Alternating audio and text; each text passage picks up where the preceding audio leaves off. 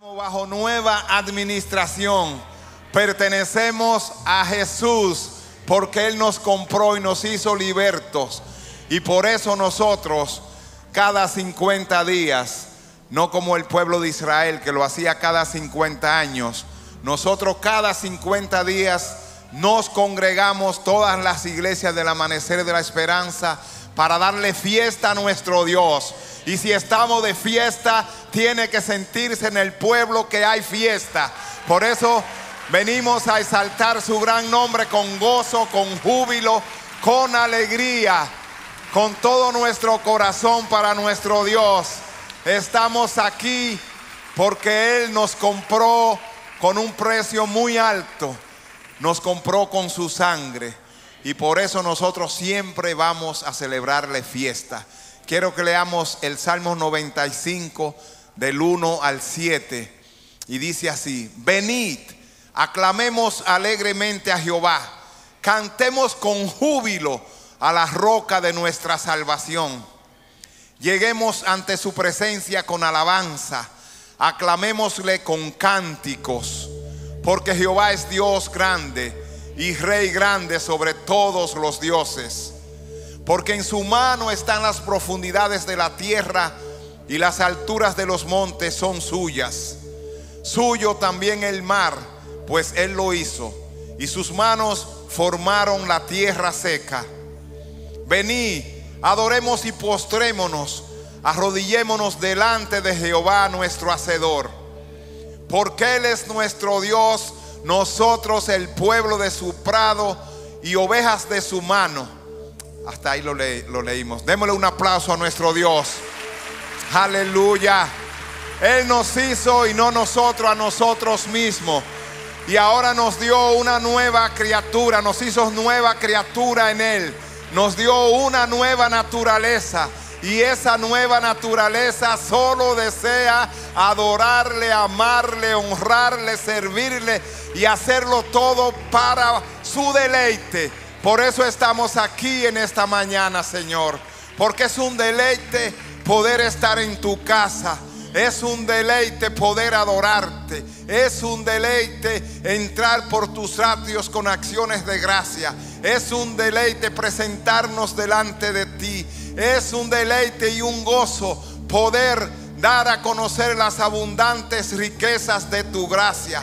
Gracias Señor por congregarnos. Gracias por reunirnos en esta vez, Señor, para celebrarte a ti, para destacar tus virtudes, para proclamar que solo tú eres Dios entre todos los dioses, que no hay otro Dios como tú, solo tú eres digno, solo tú eres bueno, solo tú eres grande. Y por eso hemos venido a adorarte y alabarte. Sea tu nombre engrandecido en esta mañana.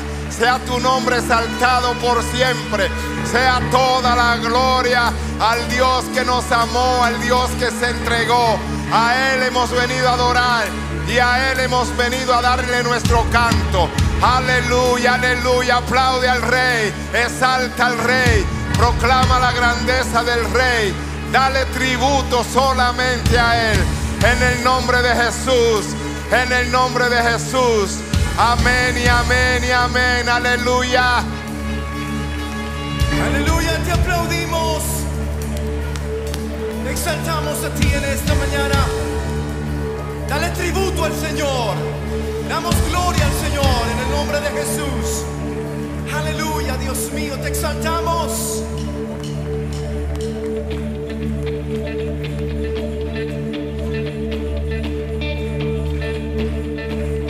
Gracias damos a Dios por Jesucristo. Gracias damos a Dios por aquel que lo dio todo por nosotros.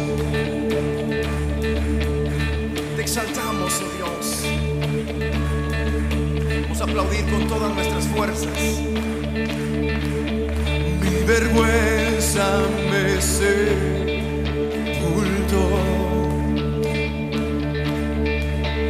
Yo buscaba un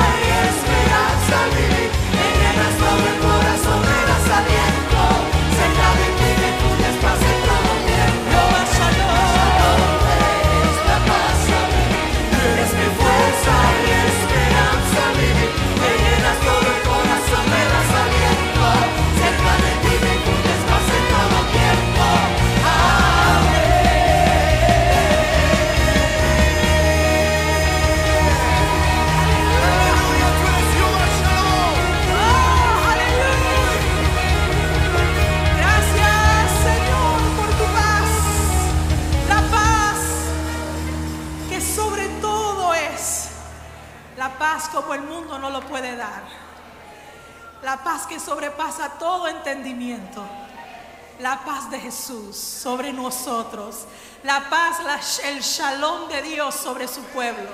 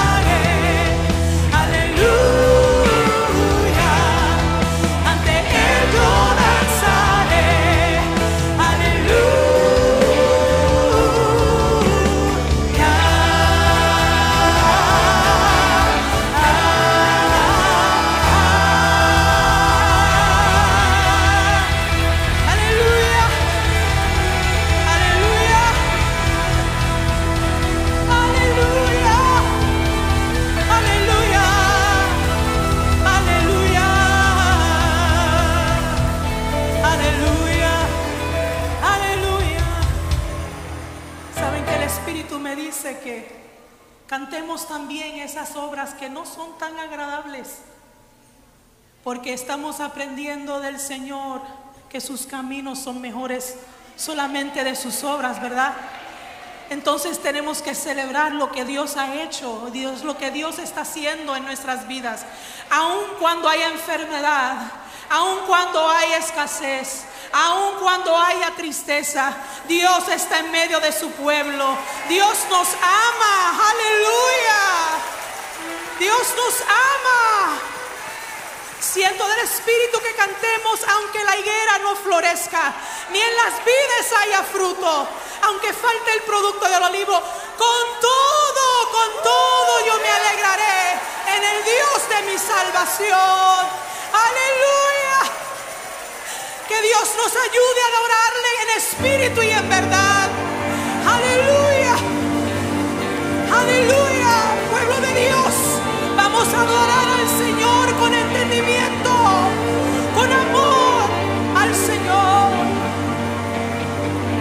la higuera no florezca, ni en las vides haya fruto,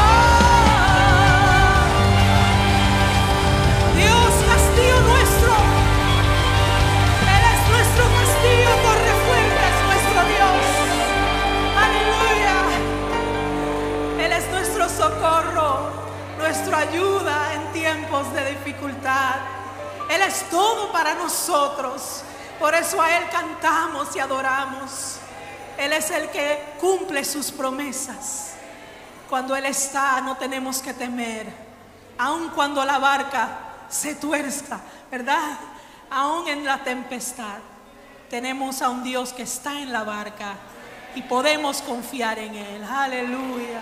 Podemos confiar en Él. No temáis, dice el Señor.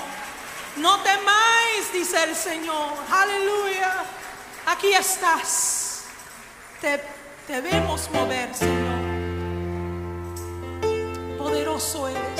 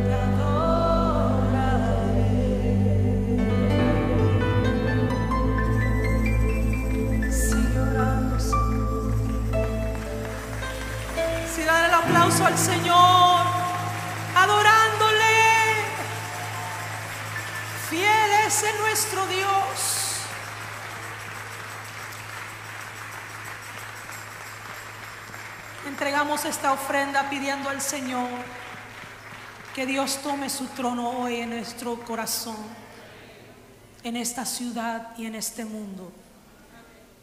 Dios toma tu trono. Necesitamos que tú estés sentado en tu trono. Tú siempre estás. Muchos te quieren quitar del trono, pero no nunca podrán lograr quitarte del trono, Señor. Siempre estarás entronado, sentado en tu trono.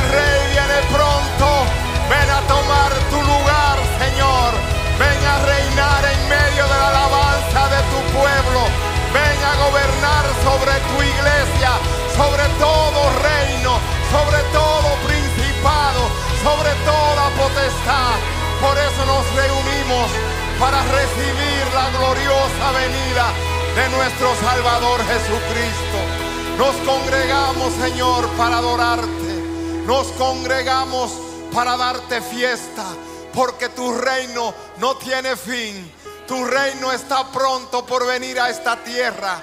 Y el que reina en los cielos, en lo invisible, reinará también aquí en la tierra, en lo visible. Y mis ojos lo verán, y tus ojos lo verán. Veremos al rey sentado en su trono, gobernando sobre todo gobierno, sobre todo principado, sobre toda potestad. Adoramos al rey, adoramos a Jesús el rey. Este pueblo se ha reunido para celebrarle fiesta a Él, porque el Rey viene pronto. Que todo lo torcido se enderece, que lo bajo se suba, que lo alto se baje, para que pase la gloria de nuestro Dios. Hay un rey, hay un rey, hay un rey que va a ser coronado, hay un rey que reina en los cielos y descenderá a la tierra. Hay un rey ante el cual nos postramos. Hay un rey al cual adoraremos por siempre. Hay un rey, vamos a decirle que hay un rey. Cristo es nuestro rey. Cristo es nuestro rey. Porque el Padre le ha coronado y le ha sentado a su diestra. Aleluya. Hay un rey. Aleluya.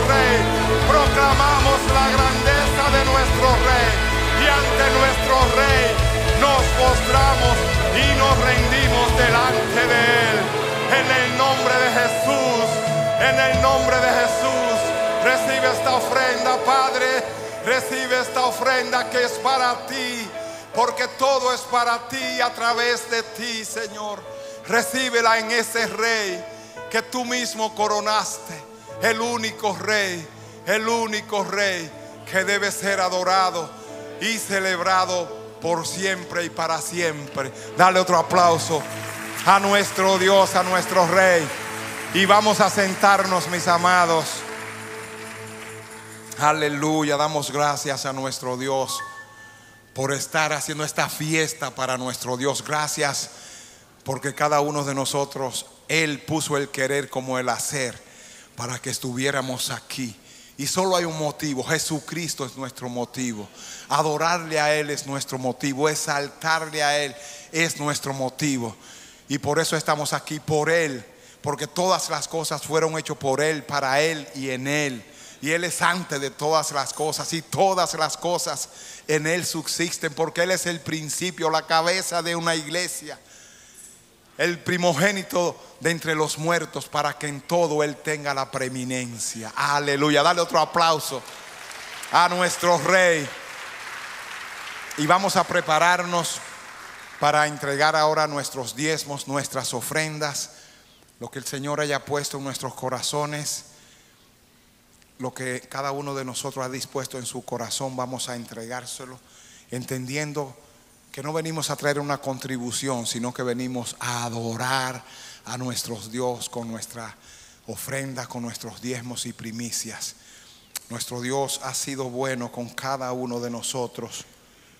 Si necesitas un sobre, si por alguna razón no tienes sobres donde está, puede levantar tu mano y uno de los diáconos te hará llegar uno a tu asiento, pero si tienes sobre, pon toda tu información, nombre, apellido, dirección y a dónde va dirigida tu ofrenda.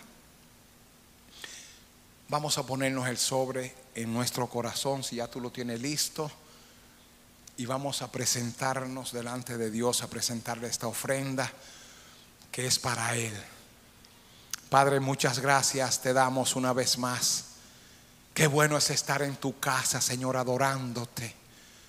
Hoy celebramos fiesta para ti porque hemos sido rescatados de las tinieblas y tú nos has traído a tu luz admirable. Y ahora en nuestro corazón hay gozo, hay alegría, somos libres para ti. Tú nos libertaste, Señor. Y por eso podemos adorarte, Señor, porque en tu espíritu hay libertad para adorar. Y lo hacemos, Señor, con la única motivación de agradarte a ti en todas las cosas. No venimos aquí a pasar unas horas cantando, no Señor, hemos venido a adorarte, entendiendo que tú buscas que tales adoradores te adores en espíritu y en verdad. Y nosotros somos ese pueblo, ese pueblo entendido que sabe al Dios que adoramos, al Dios que celebramos. Oh Señor, celebramos tus obras, celebramos tus portentos, tus prodigios. Todo lo que tú has hecho es digno de ser celebrado, Señor. Y no podemos callar. Por eso estamos gozosos, felices. Hay júbilo y danza en nuestros corazones, en todo nuestro ser. Para ti, Señor. Porque tú has cambiado nuestro lamento en danza. Sí, Señor, ha cambiado nuestro lamento en danza. Y ahora te adoramos en espíritu y en verdad.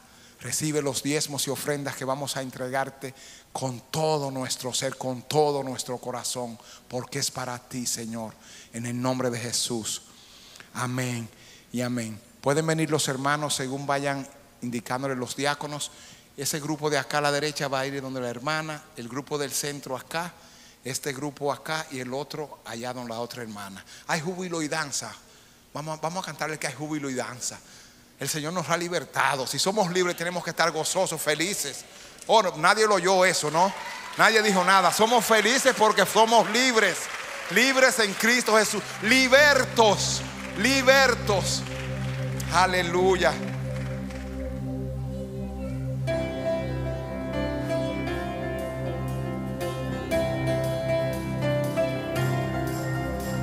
Este es el sonido de fiesta. No hay más lamento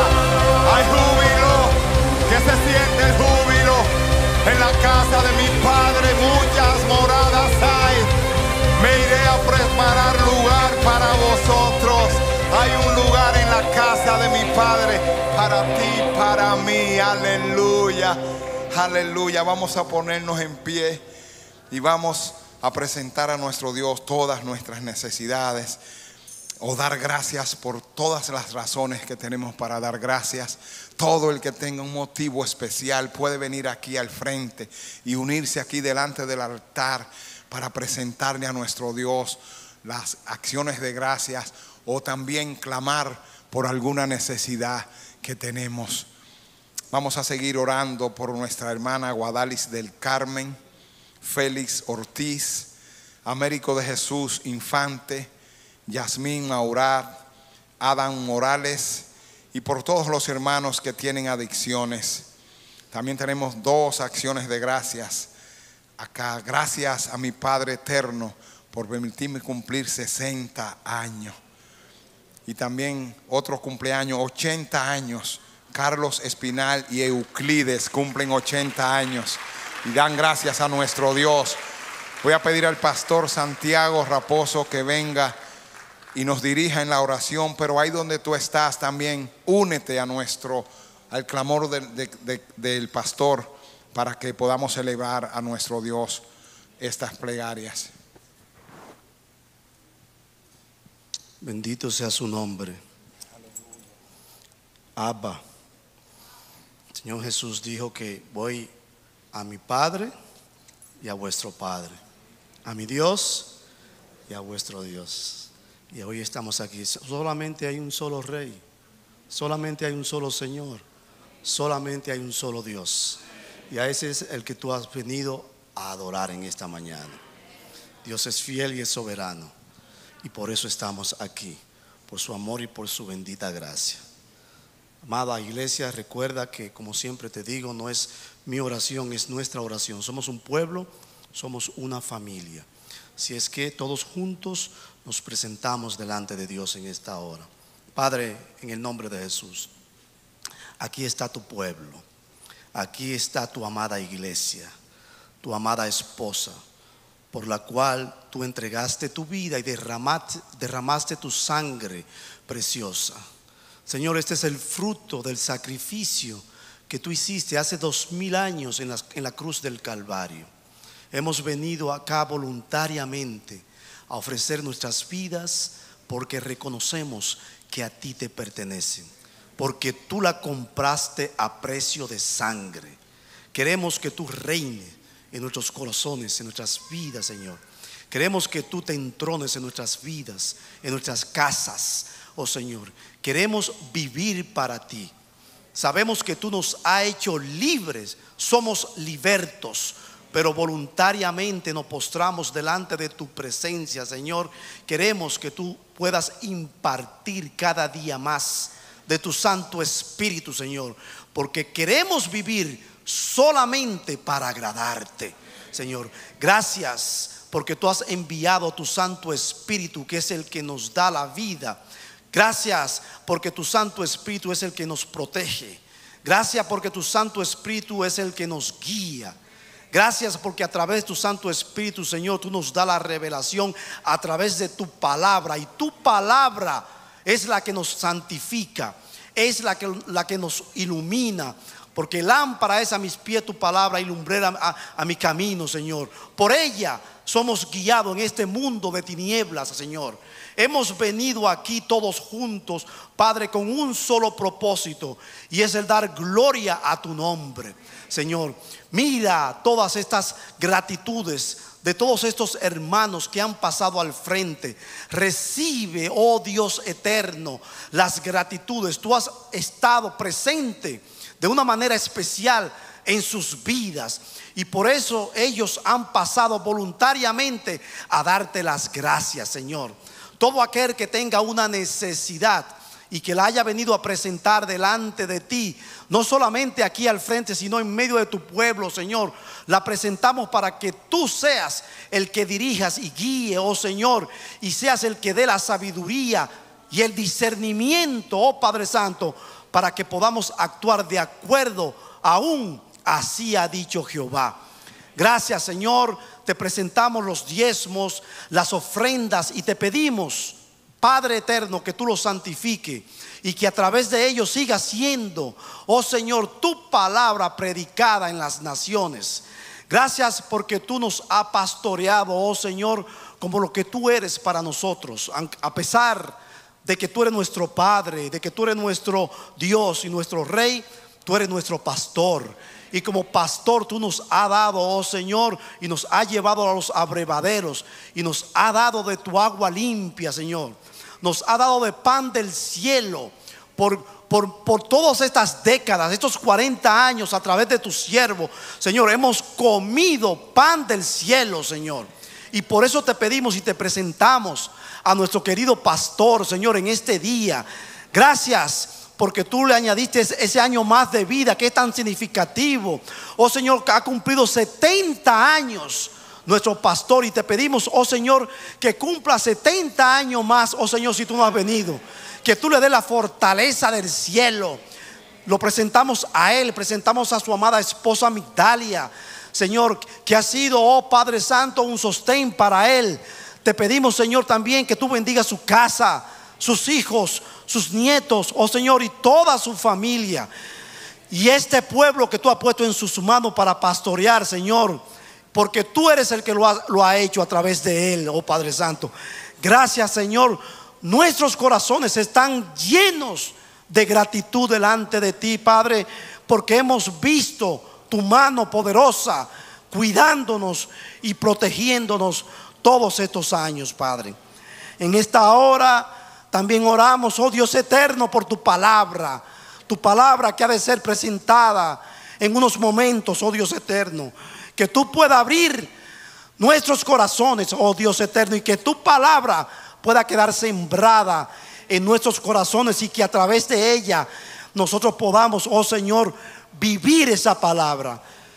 Como dice nuestro pastor, que no digamos, oh, qué bonita palabra, qué cuánta revelación. Oh, no, Señor, de nada vale nada de eso, oh Dios, Señor, si no vivimos tu palabra, Señor. Danos el deseo, la determinación, oh Padre Santo, las fuerzas, oh Dios eterno, para vencer, oh Señor, los deseos de la carne y someter la carne, Señor, y vivir en el Espíritu, Señor, como tú nos has enseñado, Padre. En esta hora, oh Señor, nos humillamos una vez más delante de ti. Nos presentamos, Dios eterno, y te pedimos que cambie. Oh Señor, nuestros corazones de piedra y que ponga un corazón de carne, un corazón que te ame, un corazón que te, que te, que, te agradezca, oh Señor, un corazón que viva solamente para agradarte. En el nombre de Jesús, Padre. En esta hora, Señor, una vez más, oh Señor, te pedimos no solamente por todo el pueblo que está aquí, te presentamos esta nación en la cual vivimos. También oramos, Padre, por la situación allá en el Ecuador, Padre Santo. Tú sabes lo que se ha levantado. Padre, por una palabra ha sido dicha y ha sido proclamada y nos agarramos de esa palabra, Señor, que tú llevaste, Señor. En el nombre de Jesús, limpia los aires, oh Señor. Acaba, oh Señor, con todo espíritu de revolución, Padre Santo. Y en el nombre de Jesús, establece tu reino no solamente en, el Ecuador, sino en todas las naciones, Padre Santo. Gracias, Señor. En ti y solamente en ti confiamos, porque tú eres el soberano y tú eres, oh Padre, el dueño de todas las cosas. En el nombre de Jesús. Amén y amén. Un aplauso para el Señor. Padre, presentamos esta criatura en este momento.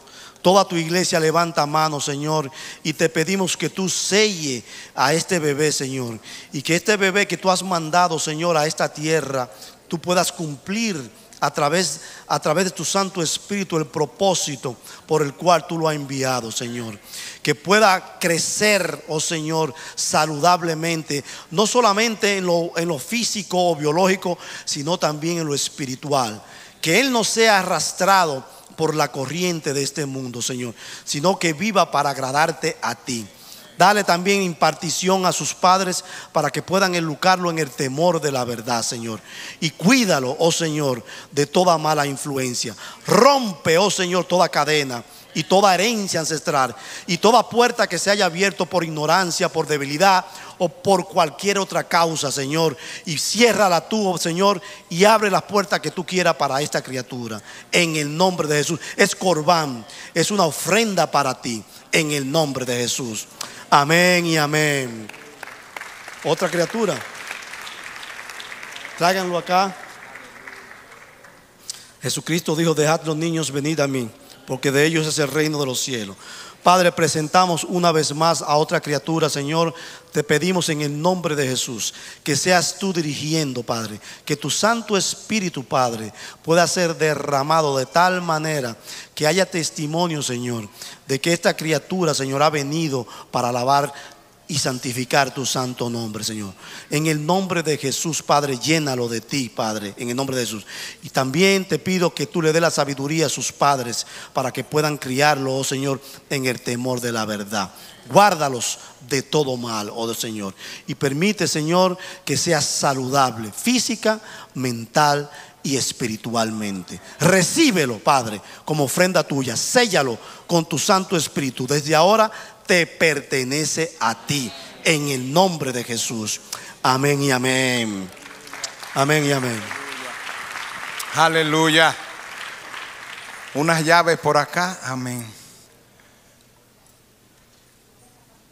Vamos a estar en quietud para recibir el mensaje, la palabra de nuestro Dios en esta mañana. Quiero darles unos anuncios rapiditos. Les recuerdo que nuestros cultos son siempre los jueves a las 7 de la noche en el Templo del Bronx.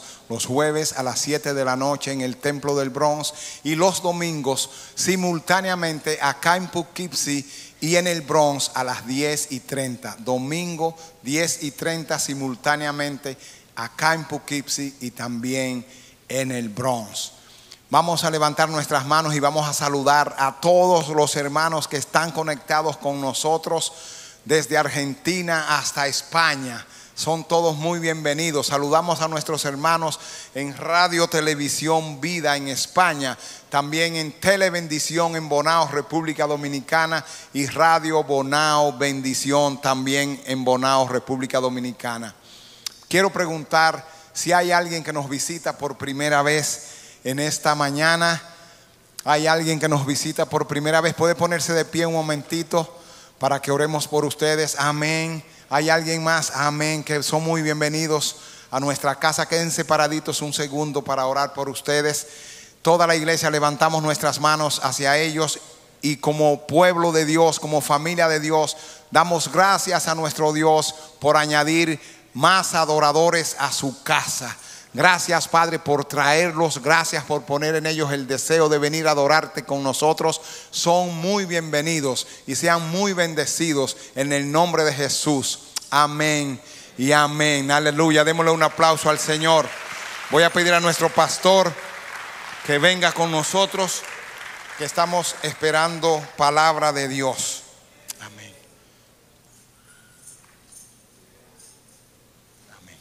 Vamos a levantar nuestras manos y vamos a orar por nuestro pastor para que sea el Señor fortaleciéndole y dándole a él más de lo que él espera dar. Padre, gracias por nuestro ángel, ángel de nuestra casa, que tú has puesto para dirigir esta embarcación, Señor. Gracias por su vida. Te rogamos en estos momentos que seas con él, fortaleciendo sus piernas, fortaleciendo sus brazos y dándole, Señor, más revelación de la palabra que tú has puesto en su corazón, que pueda fluir como ríos de agua vivas y que nosotros podamos decir, no ardía nuestro corazón mientras Él hablaba. Sé con Él, Padre, en el nombre de Jesús. Amén. Y amén. Dale un aplauso a nuestro Rey.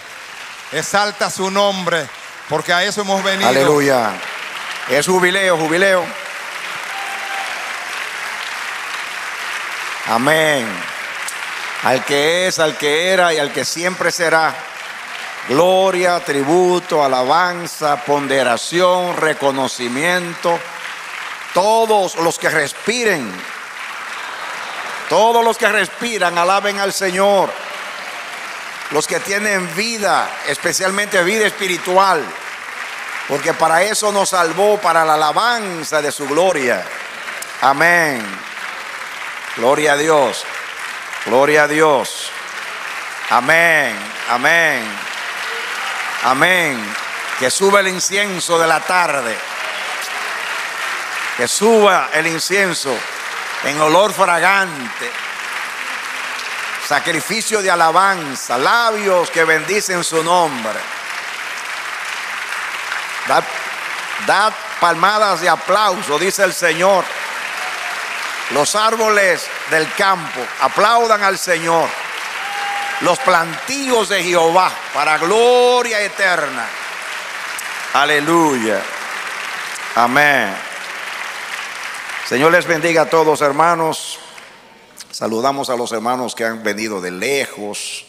Tenemos aquí hermanos de Staten Island, de Long Island, de Connecticut, de Massachusetts, de Virginia, creo que sí están los hermanos ahí. Aleluya, ahí están.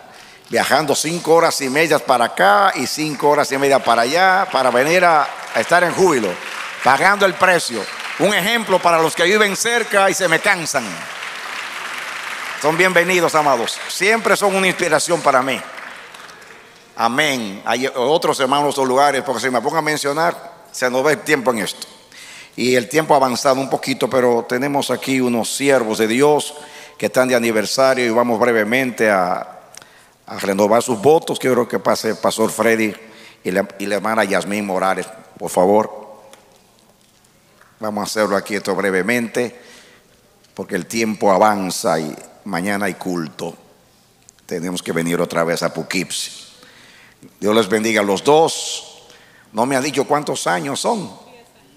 Diez años, amén. El diez es un número de lo que está completo. Amén. Muy bien, usted eh, en una oración vamos a orar al Señor. Ven aquí los dos. Amén. Amén. Gloria a Dios. Vamos a orar. Padre bendito, Dios eterno. Aquí está Freddy y Yasmín, tus dos hijos. Han venido a tu presencia, Señor, agradecerte por diez años en los cuales tú le has preservado como pareja, como matrimonio. Han guardado el pacto porque tú has sido el vínculo de unión.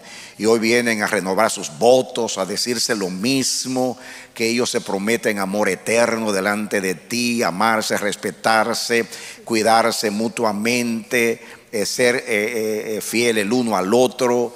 Señor Dios mío, y mantenerse juntos bajo toda circunstancia, en la enfermedad como en la salud, Señor, en la riqueza como en la pobreza, como se prometieron. Hoy a venir a tu presencia, están reiterando ese pacto bendito. Vengo en el nombre de Jesucristo a, a rogarte que tú que le has guardado por 10 años, tú seas con ellos todos los días de sus vidas, Señor, que su matrimonio sea un cielo en la tierra, sea un Betel, casa de Dios y puerta del cielo, un Belén, casa de pan, Betesda, casa de misericordia y que haya respeto, haya buena comunicación, que ellos sean una, una, inspiración para los ángeles, para que quieran estar en su hogar, Señor. Bendí, bendícelos a ellos y bendice su unión y bendice sus familias, Señor. Venga a tu reino, bendice su ministerio también, que juntos puedan glorificar tu nombre. Bendice, Señor, su ministerio, que sea de honra, Padre, manifiéstate a ellos con sabiduría, consejo, inteligencia, poder, unción, temor reverente. Padre, el bien y la misericordia los sigan siempre. Pastorealos con la pericia de tus manos. Pon tus ojos sobre ellos de día y de noche. Que no se aparte de ellos tu misericordia. Guárdalos de, de, accidentes, de malas noticias, de perros, de mutiladores del cuerpo. Señor, cuida su hogar y cuida su familia los encomiendo a ti.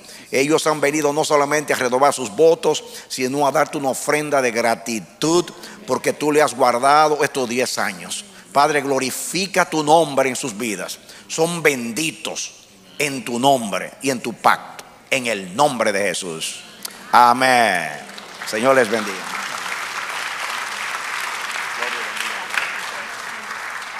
Señor los guarde siempre. Aleluya. ¿Están listos para la palabra del Señor? Den un aplauso al Señor entonces. Amén. Gloria al Señor.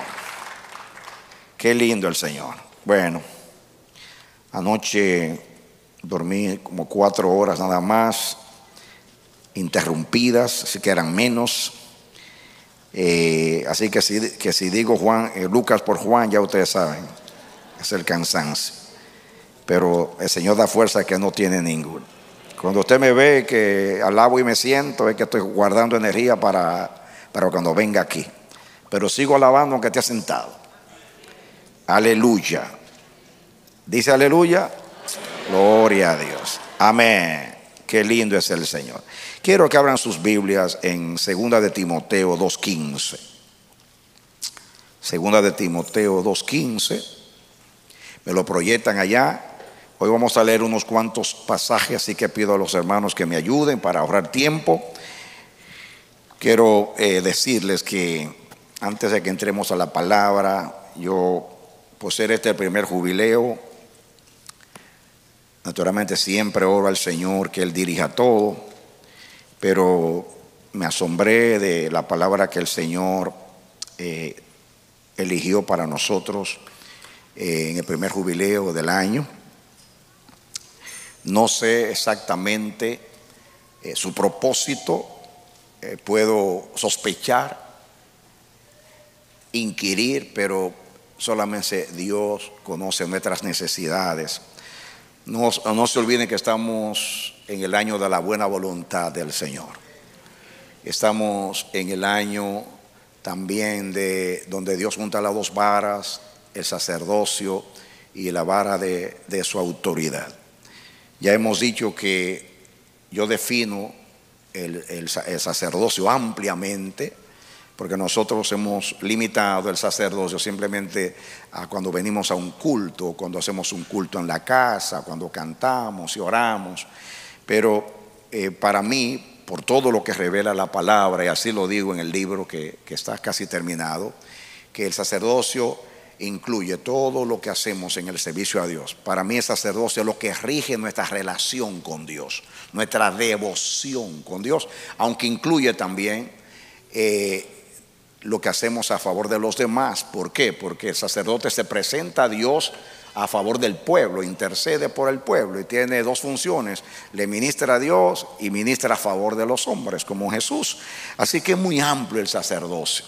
Y yo entiendo que lo que Dios nos va a decir hoy tiene mucha relación con, con el sacerdocio y con todo lo que rige nuestra relación y nuestro compromiso con el Señor. ¿De acuerdo?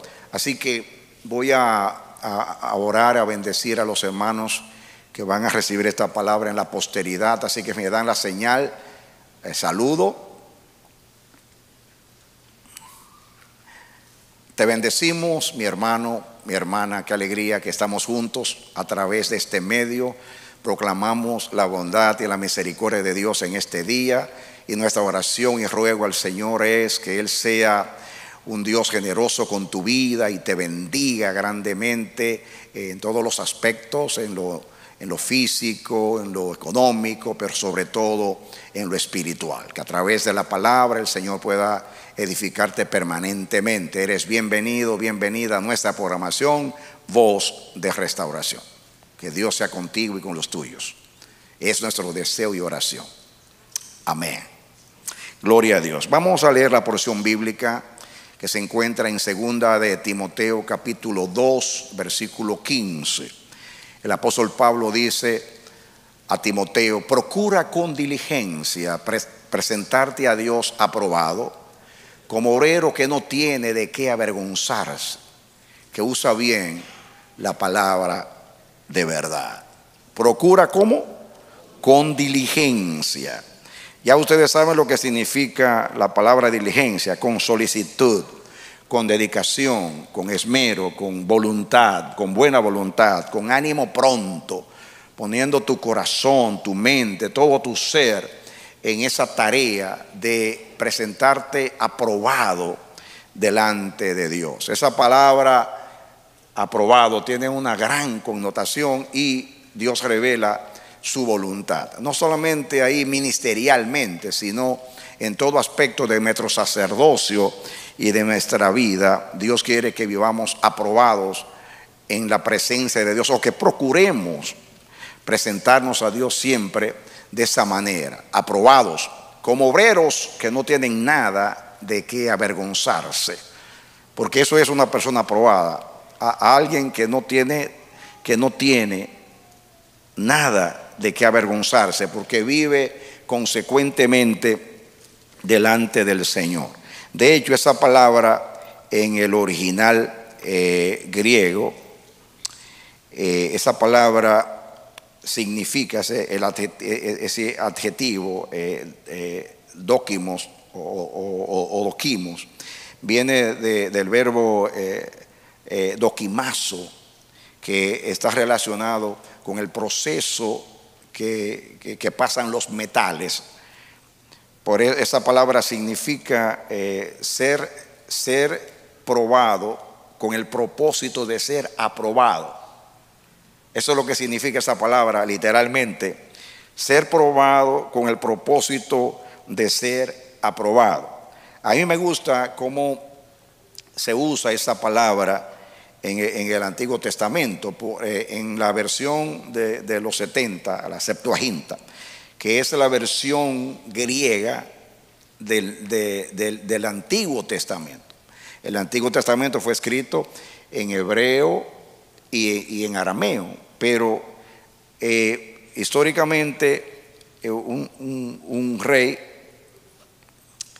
de ascendencia de la, de, la ascendencia de, de- de Alejandro Magno, Ptolomeo Filadelfio, él mandó a traducir, eh, tomó a 70, 72 sabios judíos para traducir esa versión, la Septuaginta, al griego, que era el idioma del imperio, y fue la versión que más se usó en tiempo de Jesús, ya que el griego era como el inglés en el presente, un idioma internacional.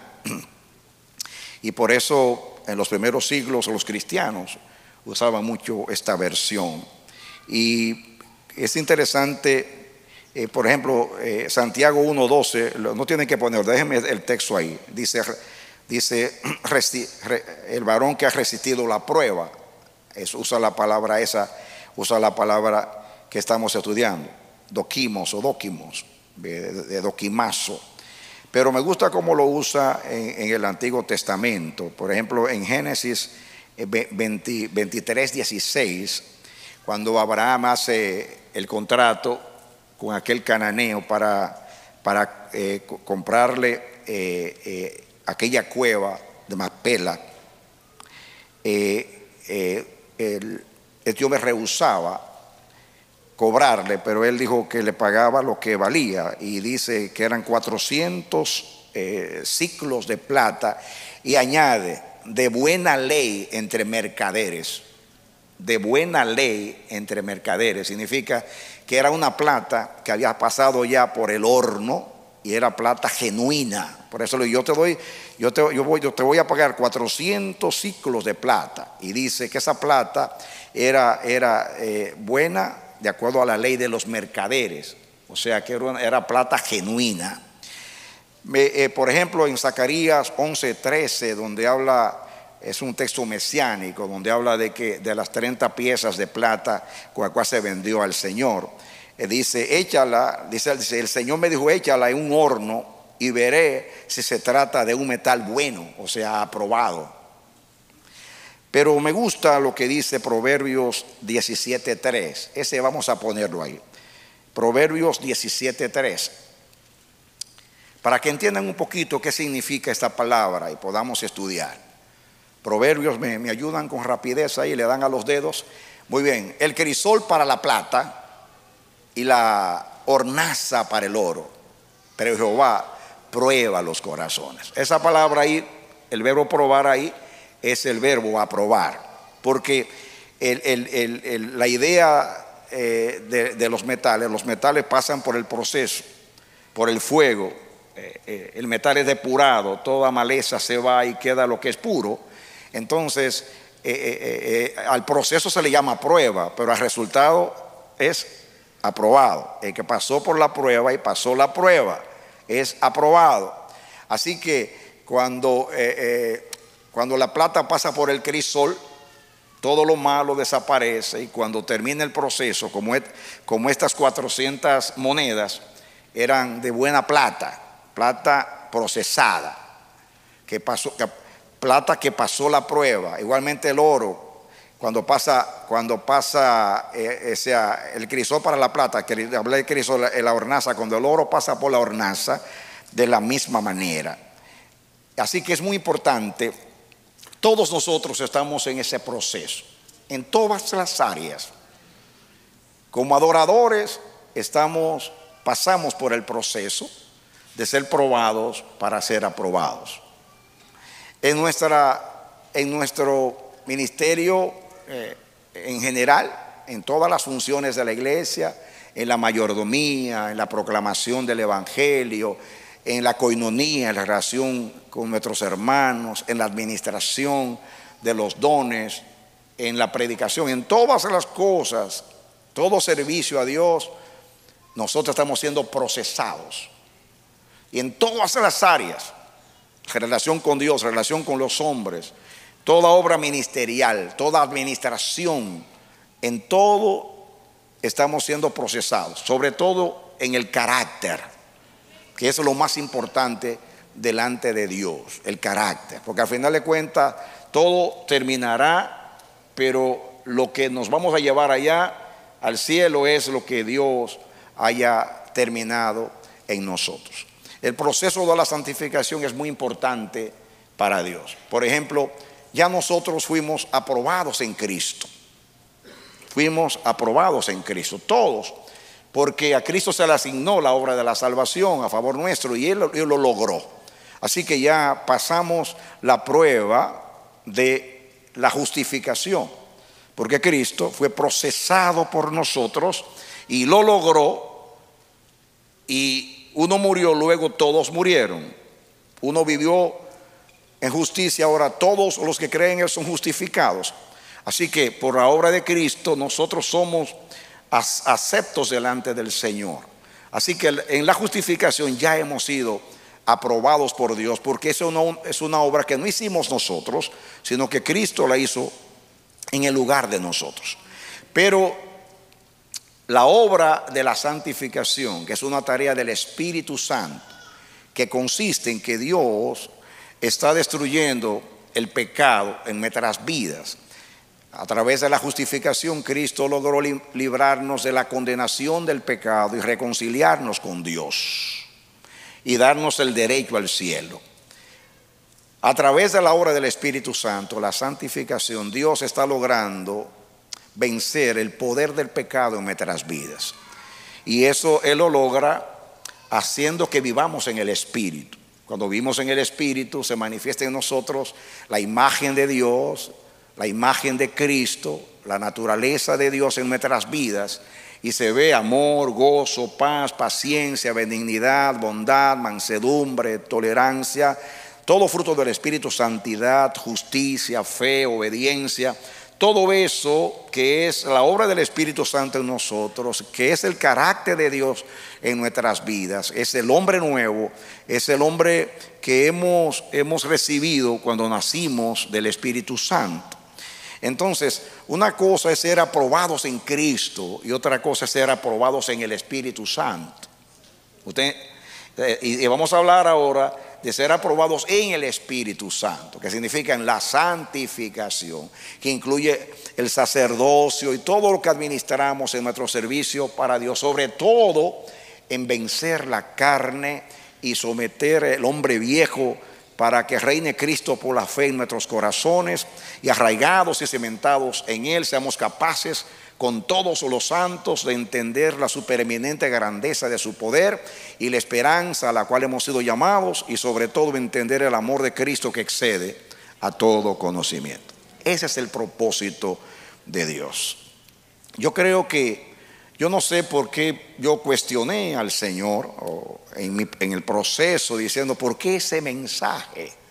De hecho, pasé muchas horas anoche hasta las 12 que, me- fui a la cama, diciéndole al Señor, Señor, tengo los textos, tengo esto, pero no entiendo el propósito. Esta mañana, como hace siempre, en el proceso de prepararme, me iluminó y organizó mis pensamientos.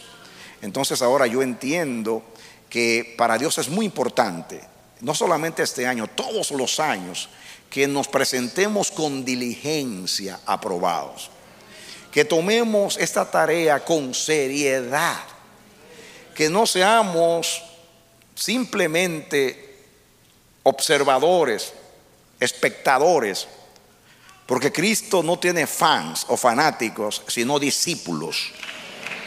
Amén. Los artistas tienen fanáticos, fans, pero Cristo tiene discípulos. Y Cristo dijo a los discípulos, si alguno quiere venir en pos de mí, niéguese a sí mismo. Tome su cruz diariamente y sígame.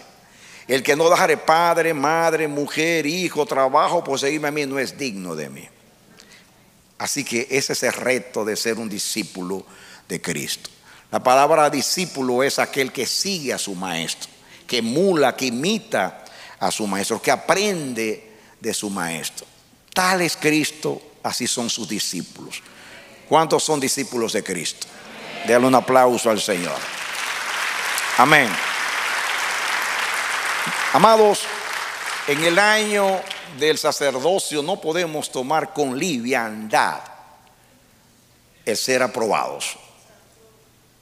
Para Dios es muy importante. Pablo dice, procura con diligencia, con interés, con empeño, con ahínco, con tesón, con valentía, con coraje, con determinación, con convicción, haciendo de eso una prioridad en tu vida, de presentarte a Dios aprobado, como un obrero que no tiene nada de qué avergonzarse, porque eso es una persona aprobada, alguien donde el diablo no, no, no tiene derecho a señalarlo. Más adelante voy a hablar de eso, pero es muy importante. Ahora, yo quiero hablar de lo que significa ser aprobados. Y vamos a hablar primeramente de la aprobación personal. Pero yo quisiera, sí, voy a, voy a, vamos a estudiar la palabra acá. Quiero que leamos a segunda de Corintios 10, 17 y 18. Y proyectenme allí rapidito, segunda de Corintios capítulo 10, los versículos 17 y 18. Dice, más el que se gloría, gloríese en el Señor. Y miren lo que sigue. Porque no es aprobado el que se alaba a sí mismo, sino aquel a quien Dios alaba. Dele aplauso al Señor. El que se gloríe, gloríese en el Señor. Y dice ahí, porque no es aprobado o sea, que ustedes tienen que gloriarse en el Señor. Porque, razón, explicación, porque no es aprobado el que se alaba a sí mismo, sino aquel a quien Dios alaba. Es muy fácil autoaprobarnos. De hecho, son muy pocos los que se desaprueban a, sí mismos. muy pocos. Hay que ser muy, muy sincero, muy veraz, amar la verdad para uno desaprobarse. Generalmente hay un espíritu de satisfacción con lo que soy, con lo que hago. De tal manera que no admitimos una exhortación o alguien que nos, que nos, que nos diga, o que nos evalúe y nos diga, y nos diga, tienes que mejorar en esto. Inmediatamente nos ponemos el escudo de la, de la autodefensa y comenzamos a justificarnos. Recuerdan los mensajes acerca del orgullo. Sigan pensando en eso, porque hay un problema serio, serio, serio que nos resta en el proceso de ser aprobados delante de Dios es justamente eso, el no aceptar, en admitir.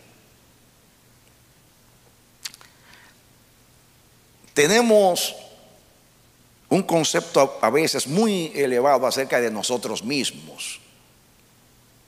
Pero ahí dice, no es aprobado el que, el que se alaba a sí mismo, en otras palabras, el que se aprueba a sí mismo, sino aquel a quien Dios aprueba.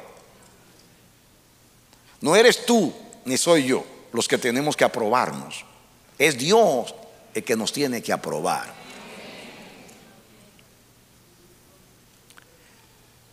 Otro, otro texto, Romanos 12.3. Romanos 12.3. Miren lo que dice. Digo pues por la gracia que me es dada a cada cual que está entre vosotros, que no tenga más alto concepto de sí que el que debe tener, sino que piense de sí con cordura, conforme a la medida de fe que Dios repartió a cada uno. Cordura se necesita y humildad para nosotros evaluarnos debidamente y no exagerar lo que somos. No importa que nosotros nos aprobemos a nosotros mismos. Esa evaluación no tiene ningún mérito delante de Dios. Porque al final de cuentas, tú no vives para ti, tú vives para Dios. Amén. Y si tú vives para Dios y yo vivo para Dios, el que tiene que evaluarnos y determinar si terminamos el proceso de haber pasado por el fuego como el metal. Y que el único que puede decir que nosotros somos buena plata es Dios. El único que puede decir que nosotros somos oro refinado en fuego es Dios. No vale nada nuestra autoaprobación.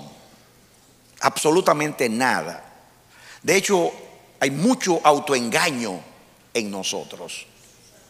Y creo que todos debiéramos de trabajar, de trabajar. Yo creo que si somos sinceros con nosotros mismos, por más que hayamos crecido, siempre, si, si somos guiados por el Espíritu, porque el Espíritu nos escudriña, el Espíritu es que nos convence de pecado, de justicia y de juicio. Si somos sinceros, el Espíritu va a mostrarnos las áreas donde nosotros no hemos pasado el examen. Con sinceridad, y, Dios, y el Señor sabe que es así, constantemente, a veces llorando, le digo a Dios, Señor, si yo mismo no me apruebo, no voy a procurar que tú me apruebes. Estoy hablando de la mayordomía. Y eso no significa que yo esté viviendo en pecado, que yo sea un villano. No, no, no, no, no, no, no. Entre más crezco, más deficiente me siento, más carente me siento. Porque entre, entre uno más se acerca a Dios, más pecador uno se siente. Si una persona dice que vio la gloria de Dios y solamente vio la grandeza de Dios y no vio su pequeñez, entonces no ha visto completa la gloria de Dios. Porque cuando Dios revela su gloria, muestra su grandeza y simultáneamente la pequeñez del hombre. Amén. Si alguien dice que vio la gloria de Dios o vio la, la santidad de Dios y no vio su pecaminosidad, pues no ha visto completo completa la gloria de Dios. Isaías cuando vio la santidad de Dios, escuchó a los serafines decir, Santo, Santo, Santo, Jehová Dios de los ejércitos, toda la tierra está llena de tu gloria. Dijo, ay de mí que soy muerto, que siendo un hombre inmundo de labios y habitando en medio de un pueblo inmundo de labios, mis ojos han visto al rey Jehová de los ejércitos. Pedro dijo, apártate de mí, Señor, que soy un hombre pecador.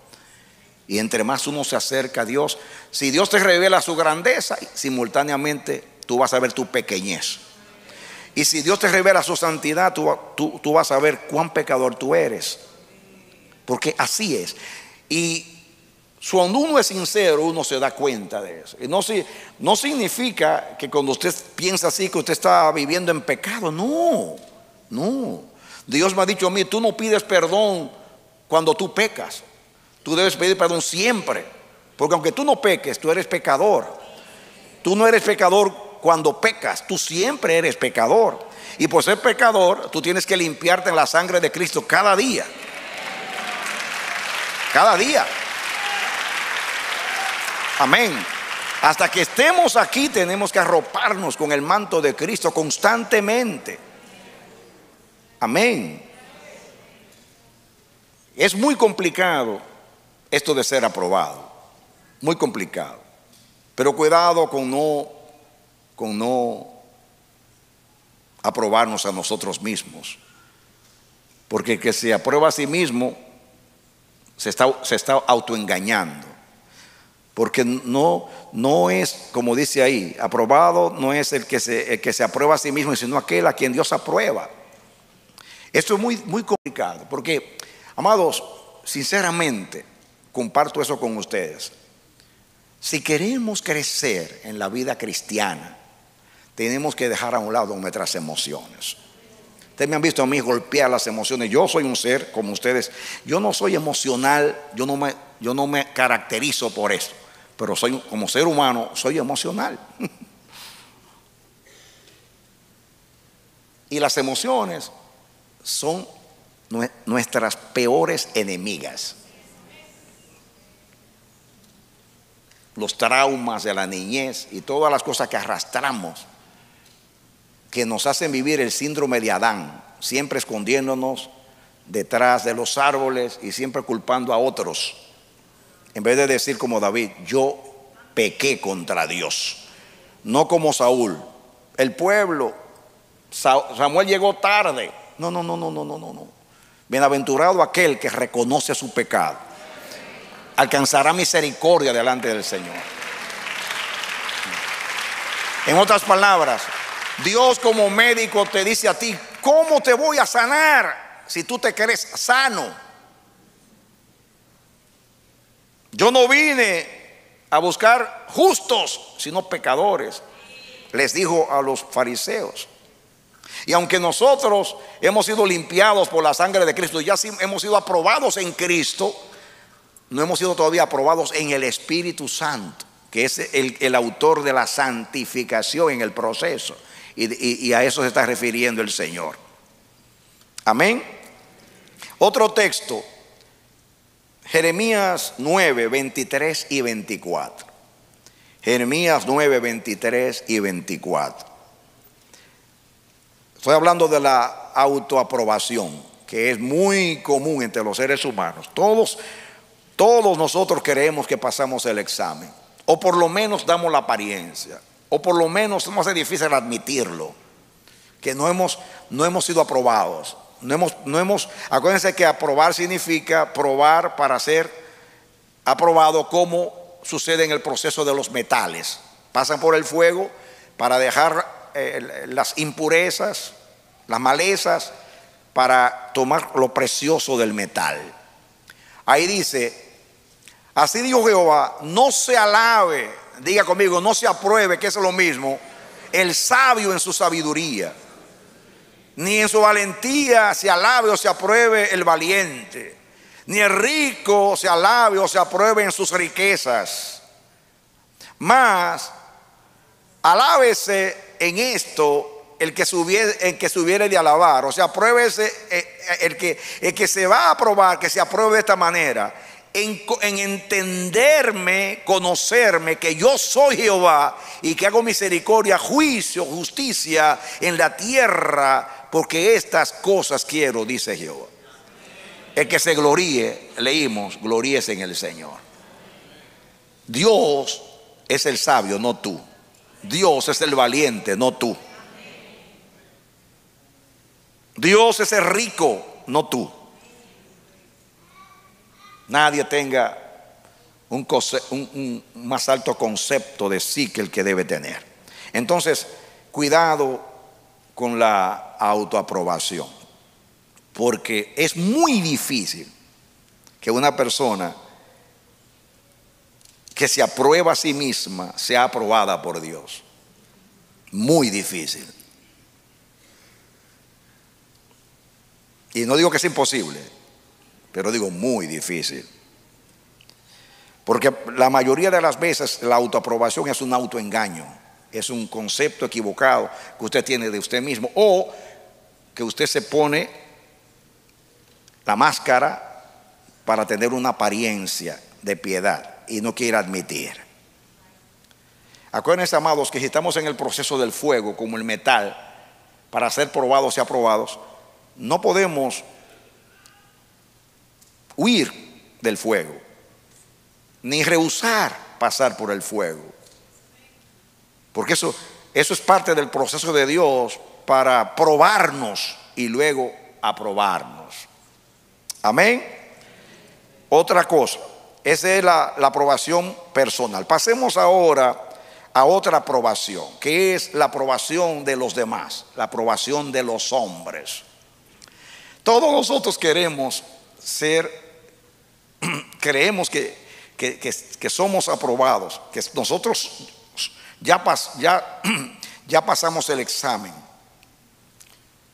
en lo personal, pero también, perdón, también nos gusta ser aprobados por los hombres. Estamos muy pendientes a que los hombres nos aprueben. Como que necesitamos tener la aprobación de los demás. Vamos a leer algunos pasajes para que entendamos. Primeramente, Gálatas 2.10. Estamos estudiando esto. Pablo dice, dice, solamente nos pidieron que nos acordásemos de los pobres, de lo cual también procuré con diligencia hacer. Eh, pongo 1.10, perdón, parece que es 1.10. A ver. Ah, que esa misma es.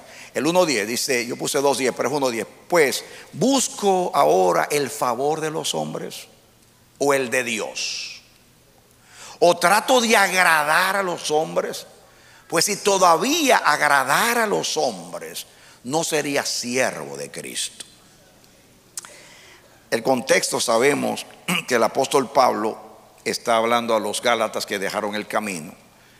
Y Pablo está diciendo que él, él no transige cuando se trata del Evangelio, que eh, ahí capítulo 12 reprendió a Pedro y a, y, a, aún a Bernabé porque no andaban de acuerdo a la verdad del Evangelio. Y está diciendo, yo no, yo los amo a todos, pero yo tengo un compromiso con Dios y con su palabra.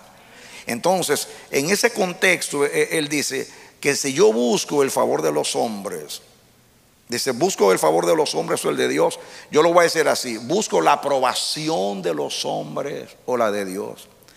Porque Pablo quiere decir con eso que cuando nosotros buscamos la aprobación de los demás, estamos dispuestos a comprometer la verdad para agradar a los hombres. Eso es muy común, muy común. El intercambio. Como los vecinos que viene y te trae un plato de comida para que tú entonces tú le des de lo que tú cocinaste. Lo que pasa en Navidad te da un regalo para que tú me des otro. Entonces es muy común el intercambio. En el mundo ministerial hay quienes ceden el púlpito a, a pastores que tienen iglesias grandes para que luego me invite. Muchas veces traicionamos los principios de Dios para quedar bien con los demás, para que los demás nos aprueben. A veces no, no, no queremos dar impresión de que nosotros somos estrictos en la fe. Especialmente pensemos en nosotros que somos una iglesia que por énfasis y por visión queremos agradar a Dios y que y que nuestro énfasis es la gloria de Dios y que Dios es el todo. Y esto no es para todo el mundo, es un nivel espiritual. Es un nivel espiritual. Ahora mismo estamos trabajando en, el libro, estoy trabajando con Marixa, la, editora, y, estamos en el proceso de que el libro ya lleva como 600 páginas. Y estamos diciendo, y ahora vamos a cortar Y yo dije, vamos a hacer esto y esto para cortar, pero oí la voz de Dios que me habló. Y me, dijo, Dios, ten cuidado, no hagas lo que han hecho mis siervos en la historia, que para que cuando han perdido la devoción, entonces hacen que el pueblo la pierda. En otras palabras, cuando un ministro de Dios no ora, no lee la Biblia y no tiene tiempo para Dios, se cansa con lo espiritual. Y luego viene y dice, el culto tres horas es muy largo. Hagámoslo de una hora. Creo que una hora es suficiente.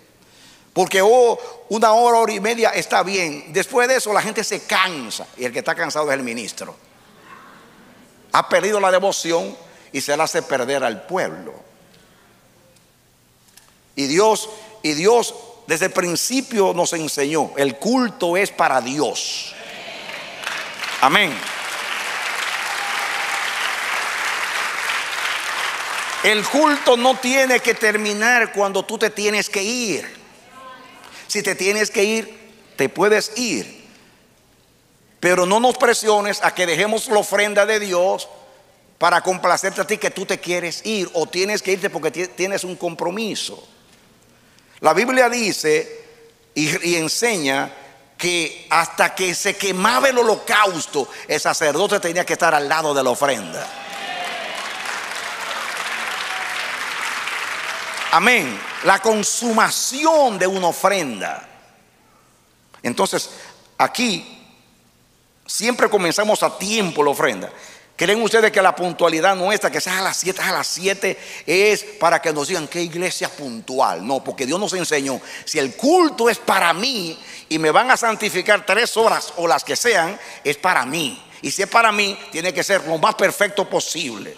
Por eso comenzamos a tiempo. Comenzamos a tiempo y terminamos cuando la ofrenda se quema totalmente. No cuando tenemos que irnos. Yo digo bromeando, en la iglesia del bronce el lugar era pequeño y éramos muchos. Y entonces eh, donde se danzaba se dejaba de último y se ponían sillas. Y yo decía a los hermanos, ahora vengan los que llegaban, llegaban ya a la hora del sermón casi y los, sentábamos aquí. Y yo decía, esta es la única iglesia que el que llega tarde eh, eh, lo, lo, tratan bien, que le dan el primer lugar aquí. Y yo, le, yo les decía a los hermanos, lo estamos tratando así, ¿saben por qué? ¿Saben por qué? Podemos criticar a los que llegaron tarde, pero a nosotros no los vamos a criticar a ustedes porque llegaron tarde, porque para ustedes esa es su adoración. Y si para ustedes Dios lo que se merece es un pedazo de ofrenda, denle un pedazo de ofrenda. Pero aquí los devotos le vamos a dar toda la ofrenda. Amén. Si tú vienes a la iglesia cuando no tienes nada que hacer, cuando no tengo que ir de compra, cuando no, cuando tengo que trabajar, cuando tengo. Entonces, esa es tu adoración, no te vamos a criticar. Tú tendrás, Dios te aprueba o te desaprueba. Pero el problema es que esas personas que no tienen devoción quieren imponernos a, a nosotros su falta de devoción. Hay alguien que decía, me gusta mi iglesia, decía alguien porque ahí me respetan mi tiempo. El culto duraba hora y media. A mí, ahí me respetan mi tiempo. Y yo respondí, a mí me gusta la mía, porque respetamos el tiempo de Dios. Aleluya. Aleluya.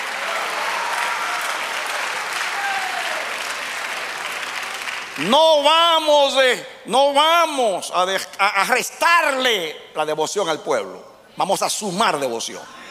En otras palabras, si todo lo que Dios quiere decirnos acerca de la adoración en el libro lleva 700 páginas, 700 páginas. El vago que no le guste leer, que se quede sin edificación. El que quiere a Dios, pague el precio con Dios.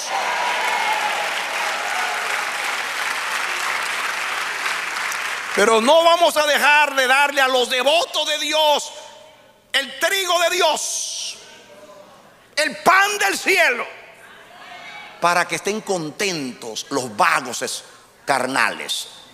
No, no, hermanos, no.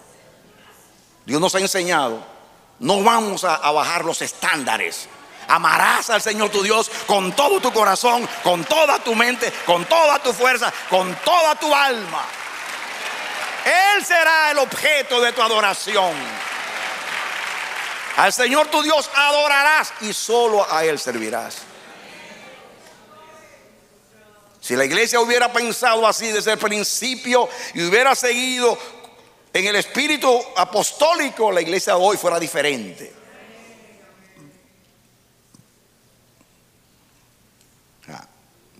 Esto es un asunto. Muchas veces para ser aprobados de los demás, nos volvemos siervos de los hombres y le damos la voluntad a los hombres. Daniel en Babilonia oraba las tres veces y todo el mundo lo veía. Ah, no, que yo no voy a orar porque me da vergüenza, que yo no quiero que me, que me, que me llamen fanático. Usted está en un restaurante, usted no tiene que levantar la voz en el nombre de Jesús, no, pero baje la cabeza y ore. Amén. No sea fariseo, no tiene que tocar la trompeta, como dice Jesús, que muchos tocan la trompeta. No, no tiene que tocar la trompeta en el restaurante, ni reprender el demonio allí para que vean que usted, ah, pero sí por lo menos baje la cabeza y diga, Señor, gracias por el alimento. O sea, no dejemos de ser lo que somos para que los demás no se enojen. El que quiere vivir piamente en Cristo Jesús padecerá persecución y tiene que pagar un precio. Si tú quieres ser aprobado por Dios, seguro que va a ser desaprobado por los hombres a menos que los hombres que te juzguen sean los espirituales. Es que ese espiritual te entiende y participa contigo. Y tú le eres una inspiración.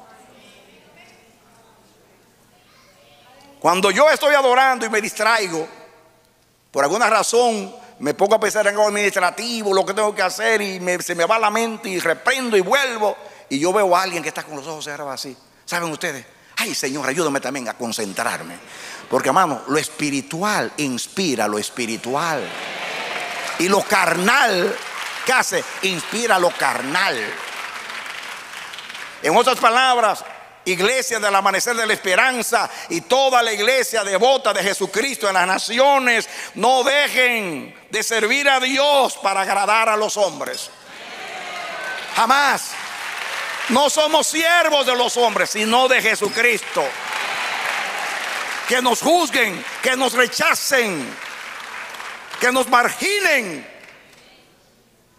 Pero nosotros con diligencia trataremos de ser aprobados por Dios. Aprobados por Dios significa que vivimos para agradarle a Él, a Él, a Él, a Él, a Él y solamente a Él. En el año de sacerdocio, pueblo, presentémonos con diligencia a ser aprobados por Dios, aunque seamos desaprobados y descalificados por los hombres.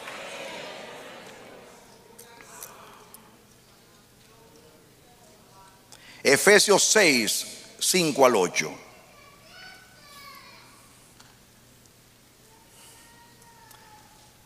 Dice, siervos, obedeced a vuestros amos terrenales. Está hablando a los, esclavos,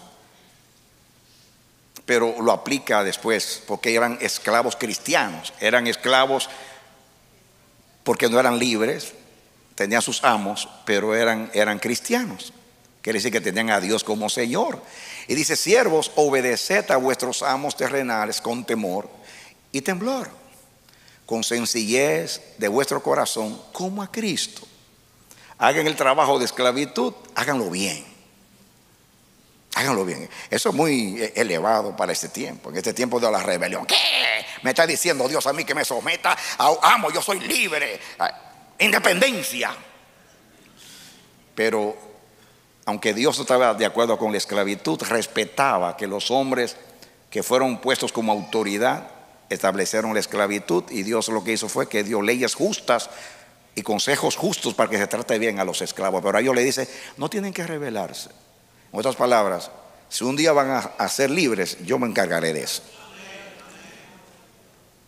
Dice, no sirviendo al ojo como los que quieren agradar a los hombres, sino como siervo de Cristo. ¿Cómo hay que servir de corazón haciendo la voluntad de Dios? Gloria a Dios. es muy común, muy común, muy común. El servir, el adorar, el orar para ser visto de los hombres, para tener la aprobación. Como dijo Jesús, aquellos que hacen largas oraciones para ser visto de los hombres. A veces oramos en alta voz y oramos, oramos con muchas palabras, porque tenemos el don de la intercesión. Tenemos años intercediendo y cualquiera de los intercesores se pone a orar y una persona de afuera dice, wow, cuántas palabras. Cuando yo oraba en, en Radiovisión Cristiana, muchos pastores me dieron a mí, tú me enseñaste a orar. Y yo, yo lo que hacía era orar. Pero como sale tantas palabras en nuestra boca, podemos caer en la tentación de querer impresionar a la gente con nuestro vocabulario religioso, porque ya pasa a ser religioso si, si tenemos esa, esa, motivación de corazón. Ah, obviamente el servicio. Si estamos, si estamos limpiando el baño, que pasa, los que pasan por ahí tienen que saber que estoy aquí. Entonces comienzo a cantar para que sepan que aquí está fulana limpiando el baño. Es como aquel que, compra un Rolex, un reloj, Rolex, entonces está, eh, eh, está, está cantando o está recitando y dice, y dice, como en el cielo, también en la tierra, para que le vean el Rolex.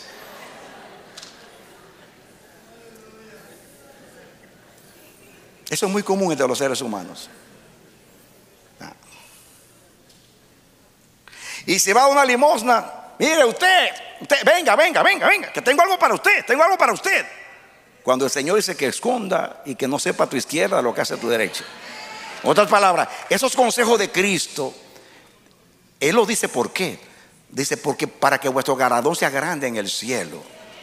Y, y dice a los que viven así, ya quieren la aprobación de los hombres, ya tienen su recompensa, ya los hombres lo aplauden. Pero si ustedes quieren agradar al Padre, hagan como Él. El Padre no está tocando bocina ni tocando trompeta cuando ayuda. ¿Cuántas cosas hacemos para tener los aplausos, la aprobación, el respeto y la deferencia de los hombres? Para ser aprobados por los hombres. Pero ahí dice que lo hagamos para Dios. O sea, todo lo que ustedes hagan, háganlo para la gloria de Dios. Sirvan a Dios de buena voluntad. Aunque sea difícil un esclavo servir a amos que eran déspotas, crueles. Sírvanle a Dios. Pasen la prueba del fuego, de la humillación de un esclavo, pero glorifiquen al Rey del cielo. Denle un aplauso al Señor.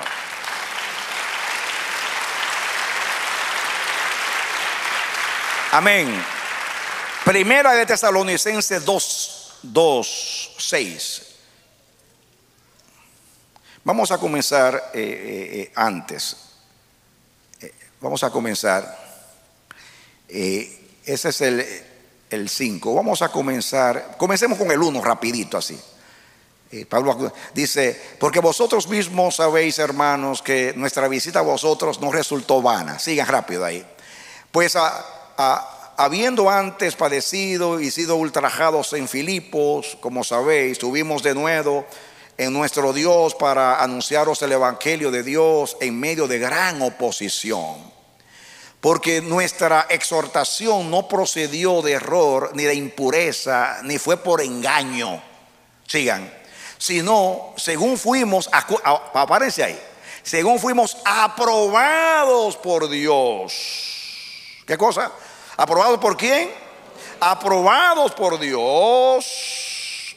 Sino que según fuimos aprobados por Dios, para que se nos confiase el Evangelio.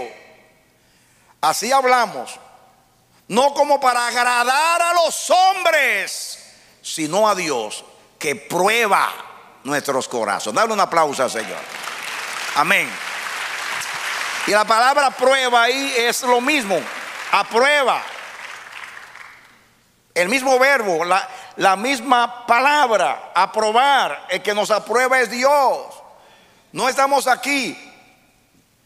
Fuimos aprobados por Dios y nos confió el Evangelio porque podía confiar en nosotros, porque nos procesó. Pablo fue procesado, fue llamado, pero ustedes saben que Pablo fue, fue llevado a su tierra, a Tarso allá, creo que como, como 10 años duró Pablo hasta que, hasta, hasta que fue, fueron a buscarlo, fue Bernabé a buscarlo y él fue probado. Y dice, para que se me confiase el Evangelio. Y dice, hablamos no como para agradar a los hombres. Amados, Pablo por algo dijo eso. No sé ustedes el contraste entre, vivir y actuar para ser aprobado por Dios o ser, o ser aprobado por los hombres. Eso está latente. Eso es cotidiano. Eso es humano. Humano. Y nadie puede decir, yo nunca he hecho nada para agradar a los hombres. Te voy a decir mentiroso. Y si te falta algo para ser aprobado, ya no eres aprobado porque eres mentiroso. Porque de alguna manera es tendencia humana es ganarse la buena voluntad y el favor de los demás, la aprobación. Nadie quiere, si es un ministro, que diga que es un, un mal pastor. No todo el mundo quiere ser aprobado. Y por eso actuamos para, para ser aprobado. ¿Saben lo que tenemos que trabajar? A veces como pastores vamos al hospital a visitar un enfermo, pero no es porque tenemos amor por el enfermo. Es porque es mi deber y yo quiero que el hermano sepa que yo soy un buen pastor. O voy a la funeraria a dar el pésame para, me puse presente. Dime, y ya, me puse presente. Como el que ora por los alimentos, dice, Señor, lo mismo que te dije ayer. Y así todos los días, lo mismo que te dije ayer, porque es la misma oración. Entonces, así pasa. Eh, queremos que los hombres nos aplaudan, no, nos feliciten. Es humano. Pero Pablo dice ahí, a nos, Dios fuimos aprobados por Dios y hablamos no para agradar a los hombres. Y fíjense lo que sigue diciendo. Porque nunca usamos palabras lisonjeras. Eso es muy común, las palabras lisonjeras. Y, yo quiero aprovechar esto para hacer, hacer una diferencia aquí. Hay personas que interpretan que la honra, la honra es culto al hombre. Y eso es un error totalmente equivocado, bíblicamente. Todo lo contrario. Pablo dice en Romanos que le demos al que le debemos, al que honra, honra, al que tributo, tributo. Y dice, prefiéranse en honra los unos a los otros. Dice que Dios honra a los que le honran. La honra es una ley del reino de los cielos. En el cielo nadie busca su gloria, sino la gloria de Dios y el respeto por los demás. Amén.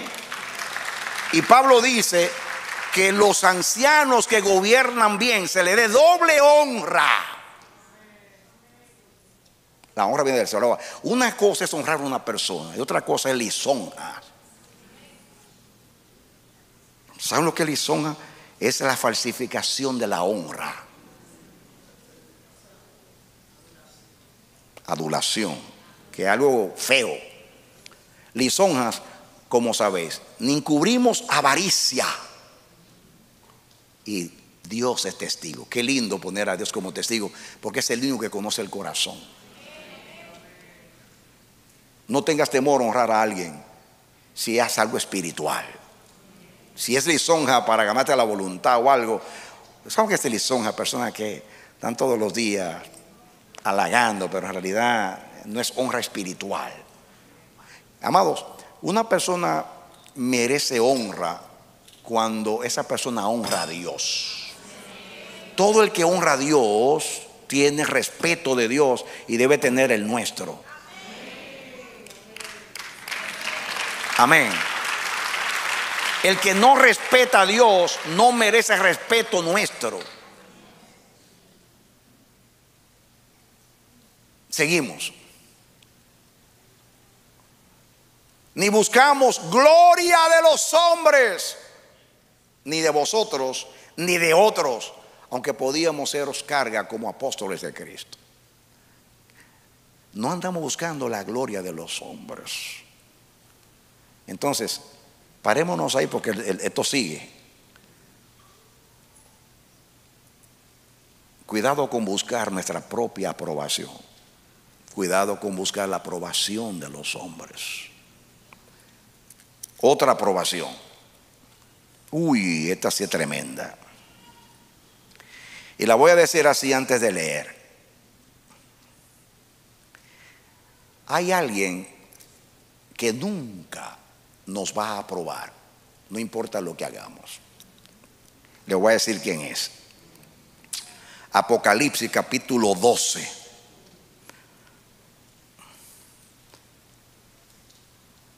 Del 10 al 12 vamos a leer, a ver. Apocalipsis 12 del 10 al 12, para no leerlo todo.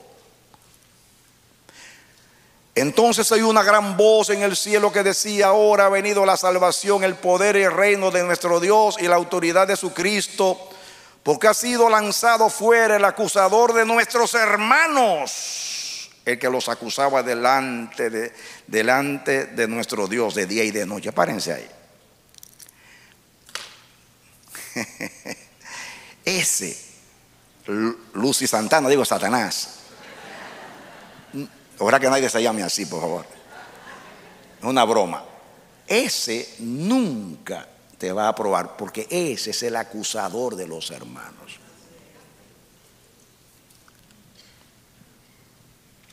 Y los acusa, los acusaba ahí, según el contexto, de día y de noche. Ese no para. 24-7. Todo el tiempo está acusando. Acusó a todos los santos de Dios.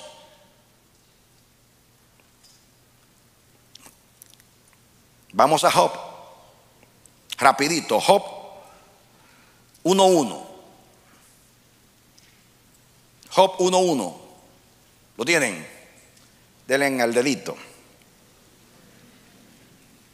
Dice, hubo en tierra de Uz o de Uz un varón llamado Job y era este hombre perfecto, recto, temeroso de Dios y apartado del mal. Así comienza el libro. Él un hombre recto, justo, de acuerdo de acuerdo a la justicia, o sea, su manera de vivir. No era perfecto, el único impecable es Dios. Una manera de decir que era un hombre correcto, que, que amaba a Dios, temía a Dios, respetaba a Dios y vivía consecuentemente la vida de Dios. Ahora, leamos el versículo 6 hasta el 10. Dice, un día vinieron a presentarse delante de Jehová los hijos de Dios, entre los cuales vino también Satanás. Y dijo Jehová a Satanás, ¿de dónde vienes? Respondió Satanás a Jehová, dijo, de rodear la tierra y andar por ella. Jehová le dijo a Satanás, ¿no has considerado a mi siervo Job, que no hay otro como él en la tierra, varón perfecto, recto, temeroso de Dios y apartado del mal? Párense ahí. Digan, Dios aprobaba a Job. Dios aprobaba a Job. Pero vamos a ver si Satanás lo aprobaba. Seguimos. Y dijo, el versículo que sigue, es el que sigue, y, eh, el que sigue ahora, el, el 9. Respondiendo Satanás a Jehová, dijo: ¿Acaso teme Job a Dios de balde? Ahí estaba juzgando su, su motivación. No le has cercado alrededor de él a él y a su casa y todo lo que tiene. Al trabajo de sus manos has dado bendición, por tanto sus bienes han aumentado sobre la tierra. Llegamos hasta el 10. Ahora, le, ahora leamos el 2 del 1 al 5. Capítulo 2 del 1 al 5. Es rapidito, solamente quiero que vean eh, la aprobación delante de Satanás. Ya vimos la aprobación delante de nosotros mismos, la, aprobación delante de los demás, de los hombres. Ahora viene la aprobación del lado de Satanás. Dice del 1 al 5. Aconteció que otro día vinieron los hijos de Dios para presentarse delante de Jehová y Satanás vino también entre ellos, presentándose delante de Jehová. Y dijo Jehová a Satanás, ¿de dónde vienes? Respondió Satanás a Jehová y dijo, de rodear la tierra y andar por ella. Y Jehová dijo a Satanás, ¿no has considerado mi siervo Job que no hay otro como él en la tierra, varón perfecto y recto, temeroso de Dios y apartado del mal y que todavía retiene su integridad? Aun cuando tú me citaste contra él para que yo lo arruinara sin causa. ¿Quién fue, que, quién fue el que incitó a Dios? Ah, porque si Dios está, dando, está, está aprobando a Job y el acusador de los hermanos está diciendo que no es íntegro, dice Dios, bueno, vamos a dar, vamos a ver si es verdad. Y pasó la primera prueba. De hecho, todas las pruebas las pasó al principio. El problema de Job fue abrir la boca. Capítulo 3, versículo 1, y abrió la boca Job. Y cuando lo comenzaron a acusar, oigan esto, tenía la aprobación de Dios, no tenía la del diablo, pero quería la de sus amigos. Y ahí se hundió Job. Porque comenzaron los amigos a desaprobarlo y se enojó. ¿Cómo van a decir que esta desgracia que ha venido es porque yo he hecho he pecado contra Dios? Y comenzó a defenderse. El problema, y ahí comenzó a hundirse Job. Si se hubiera quedado así, dejando a Dios y al diablo pelear por él, hubiera ganado Dios como total, ganó como quiera. No aprendemos eso. Si Dios te aprueba, ¿qué importa que el diablo no te apruebe?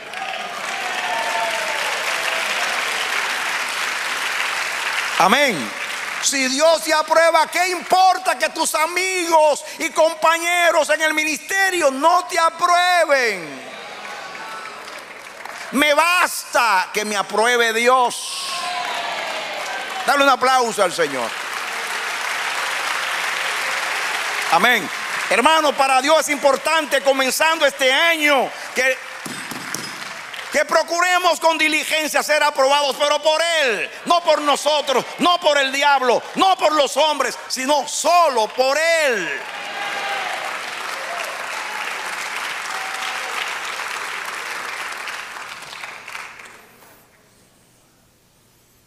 Escuchen, amados.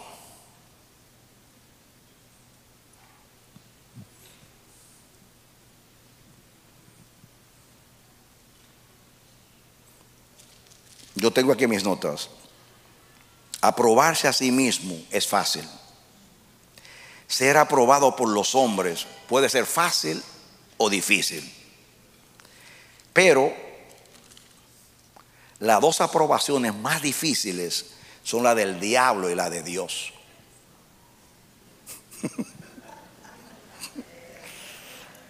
ya verán, una gran revelación. Voy a repetir lo que yo puse aquí. aprobarse a sí mismo es fácil. Ser aprobado por los hombres puede ser fácil o difícil. Depende si es muy, muy amigo tuyo. Pero las dos aprobaciones más difíciles son la del diablo y la de Dios. La del diablo porque nos odia, nos aborrece y es nuestro adversario por causa de lo que Cristo hizo por nosotros. Es malo y nunca va a reconocer mérito de nosotros. Aunque a veces use la lisonja y el engaño para hacernos creer que somos buenos, porque a veces lo hace. Usa gente que Dice, dile que, dile que, es así. Y, usa gente, ay, y te infla a través de la lisonja de otras personas para que tú creas, pero, eh, pero por dentro te odia. Entonces, es difícil ganarse la aprobación del diablo, primeramente porque él es el adversario, odia lo que Cristo hizo por nosotros, por eso nos odia a nosotros, es el enemigo de Dios y no hay nada bueno en él no ama la verdad, así que no va a juzgar justo juicio. La segunda aprobación difícil es la de Dios. ¿Sabe por qué?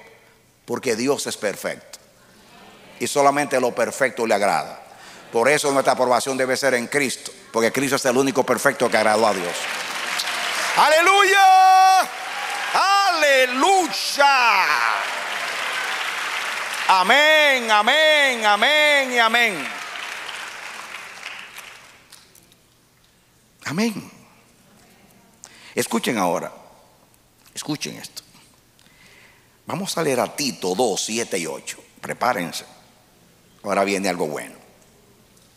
Tito 2, 7 y 8. Presentándote tú en todo, le dice a Tito, como ejemplo de qué? De buenas obras. Es lo mismo que Timoteo. Preséntate aprobado. En la enseñanza, mostrando integridad y seriedad. Ahora viene el texto. Palabra sana e irreprochable, de modo que el adversario se avergüence y no tenga nada malo que decir de vosotros. Aleluya. Con integridad, con verdad, como es digno de Dios. Viva de tal manera que aunque el acusador de los hermanos nos siga acusando, pero que sea mintiendo, porque no tenga nada que decir de nosotros. Él siempre va a ser acusador. Él siempre va a, estar insatisfecho. De hecho, si tú vives bien, va a estar más molesto contigo. Pero hay que vivir irreprochablemente. De tal manera que el diablo no tenga nada que decir de vosotros. Y si dice algo, la respuesta está en Mateo capítulo 5, versículo 11 al 16. Miren lo que dijo Jesús. Mateo 5, 11, 16 dice, bienaventurados sois cuando por mi causa os vituperen y os persigan y digan toda clase de mal contra vosotros. ¿Cómo? ¿Cómo? ¿Cómo? ¿Cómo? ¿Cómo? Mintiendo. Que cuando el diablo nos acuse sea mintiendo. Que cuando los hombres nos acusen sea mintiendo. No porque le hemos dado lugar. Vivimos irreprochablemente. Y ahí sigue diciendo Jesús, acerca de los profetas que vivieron, pero yo tengo que seguir porque tengo, que llegar a algo. Ahora viene la aprobación más importante, que es la aprobación de Dios. La aprobación personal, la aprobación de los hombres, la aprobación del diablo o la desaprobación del diablo. Y ahora viene la aprobación de Jesús, de, Dios. Yo creo que los textos que ya hemos leído nos sirven. Segunda de Timoteo 2.15, póngalo rapidito. Son los que hemos leído, pero ahora lo vamos a aplicar a Dios. Procura con diligencia presentarte a Dios aprobado. Presentarse a Dios como aprobado, como obrero que no tiene nada de qué avergonzarse, que usa bien la palabra de verdad. Dios, ¿quién aprueba? Vivamos de tal manera que seamos aprobados por Dios. Naturalmente siempre es en Cristo. Gálatas 2.10 ya lo dijimos, Pablo dice, si yo quisiera agradar a los hombres, no fuera, no fuera siervo de Dios. En otras palabras, yo no vivo para agradar a los hombres, sino a Dios. Yo no voy a sacrificar lo de Dios para ganarme los aplausos y la buena voluntad de los demás. Para mí, dice Pablo, la prioridad mía es vivir a Dios y vivir para Dios.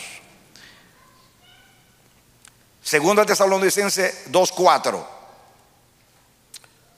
dice, sino que según fuimos aprobados por Dios para que se nos confiase el Evangelio, así hablamos, no como para agradar a los hombres, sino a Dios. ¿A quién? A Dios que aprueba nuestros corazones. ¿Qué qué?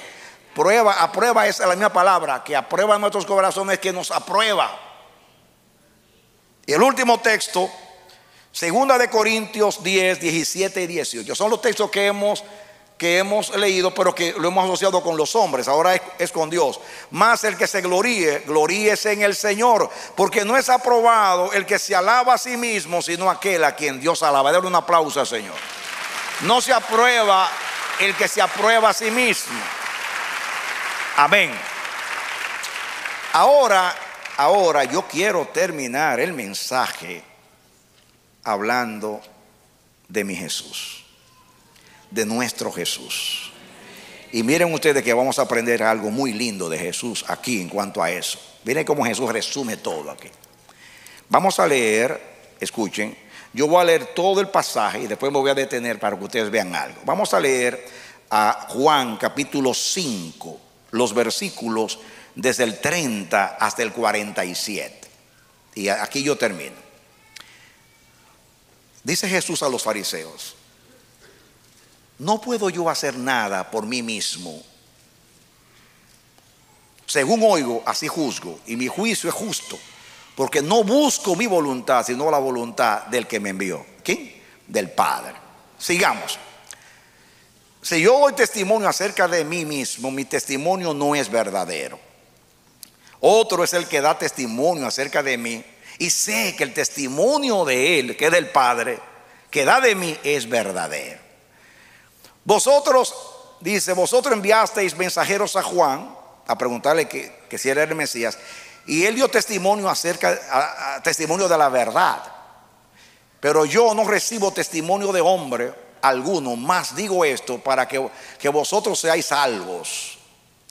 Él era la antorcha, hablando de Juan, que ardía y alumbraba, y vosotros quisisteis regocijaros por un tiempo en su luz. Mas yo tengo mayor testimonio que el que Juan dio de mí. Dice, porque las obras que el Padre me dio para que cumpliese, las mismas obras que yo hago, dan testimonio de mí que el Padre me ha enviado. También el Padre que me envió ha dado testimonio de mí. Nunca habéis oído su voz, ni habéis visto su aspecto. Ni tenéis su palabra morando en vosotros, porque a quien Él envió, vosotros no creéis. Escudriñad las escrituras, porque a vosotros os parece que en, en ellas tenéis la vida eterna. Ellas son las que dan testimonio de mí. Y no queréis venir a mí para que tengáis vida.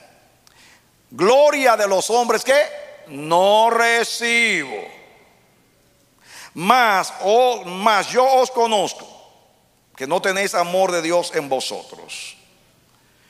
Yo he venido en nombre de mi Padre y no me recibís. Si otro viene en su propio nombre, a ese recibiréis. ¿Cómo podéis vosotros creer? Pues recibís gloria los unos de los otros y no buscáis la gloria o la honra o la aprobación que viene solo del único de Dios.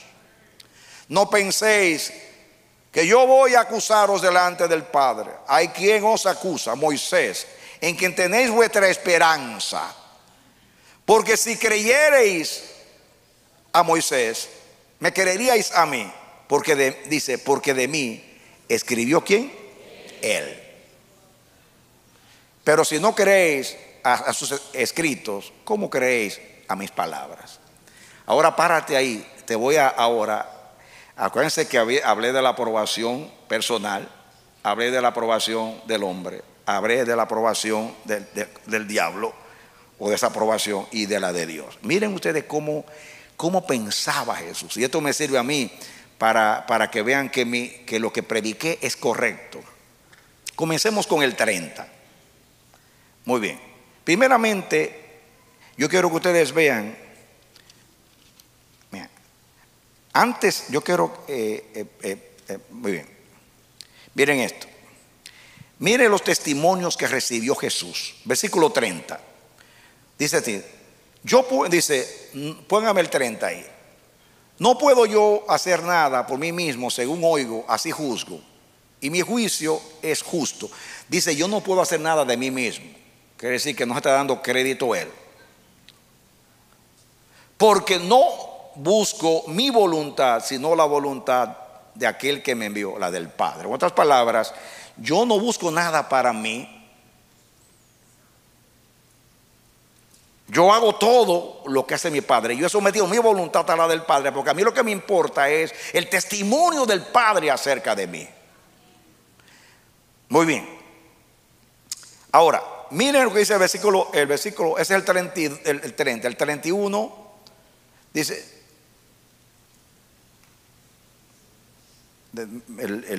Leímos como con el 30, póngase el, 31. Si yo doy testimonio acerca de mí mismo, mi testimonio no es verdadero. Párense ahí, párense ahí. Oigan esto. ¿Cuántos creen que todo lo que dijo Jesús de sí mismo es verdadero? yo soy la luz, yo soy el camino, yo soy la puerta, yo soy buen pastor, nadie viene al Padre sino por mí. ¿Por qué está diciendo él ahí? Si doy testimonio de mí mismo, mi testimonio no es verdadero. ¿Saben por qué lo está diciendo? Porque él está contestando a los judíos. En la ley dice que el testimonio de dos o tres es válido. Si yo solo hablo de mí, pues cuenten lo que no es verdadero. Pero después dice, pero el Padre da testimonio de mí, entonces mi testimonio es verdad. Aleluya. Amén. Pero noten, en el, en, el, en el testimonio personal, aunque Jesús era perfecto y podía hablar de sí mismo, Él está diciendo, si yo doy testimonio de mí, no me lo cuenten.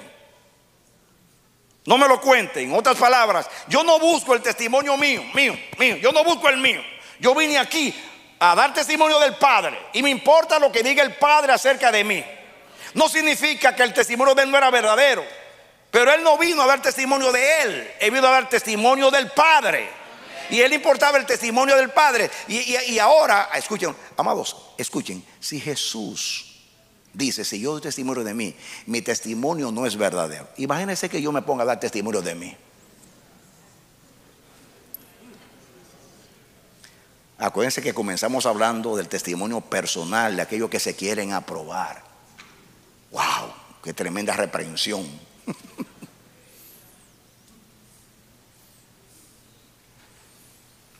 en otras palabras,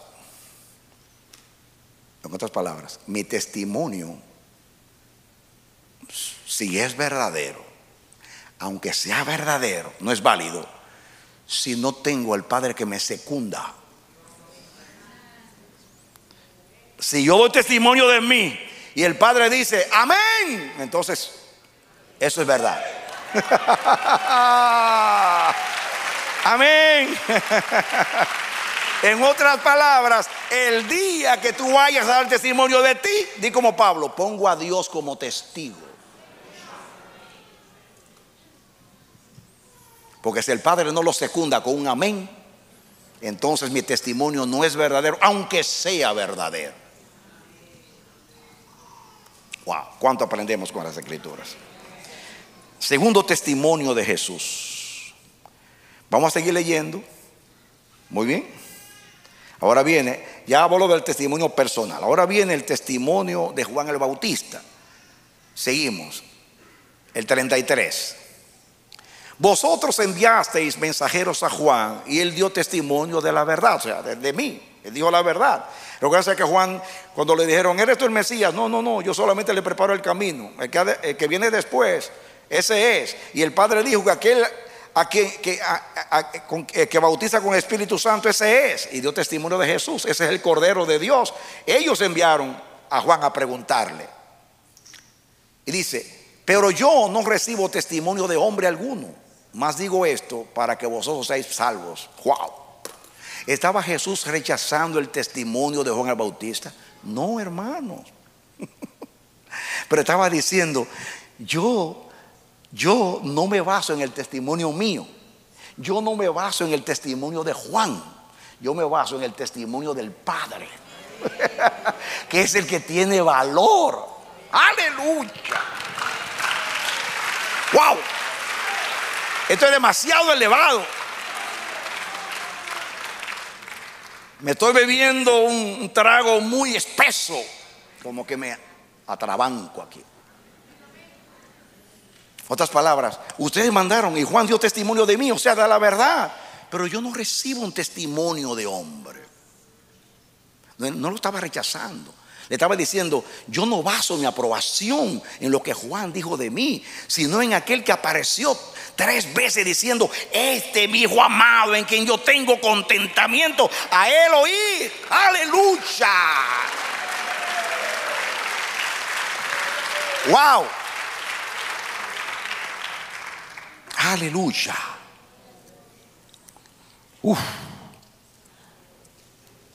Sigamos con el 35. Hablando de Juan, él era antorcha que ardía y alumbraba y vosotros quisiste regocijaros por un tiempo en su luz. Me preparó el camino. Más, escuchen, más yo tengo mayor testimonio que el de Juan. En otras palabras, yo tengo un testimonio mayor que el que, el que Juan dio acerca de mí. ¿Y cuál es el testimonio? Porque las obras que el Padre, no yo, el Padre me dio para que hiciese, o sea, los milagros y las enseñanzas, las mismas obras que yo hago dan testimonio de mí, de que el Padre me envió. Aleluya. Amén. Amén. En otras palabras, yo baso mi testimonio, mi aprobación está en lo que el Padre dijo de mí y en lo que el Padre hizo a través de mí. Aleluya. Ese es el testimonio.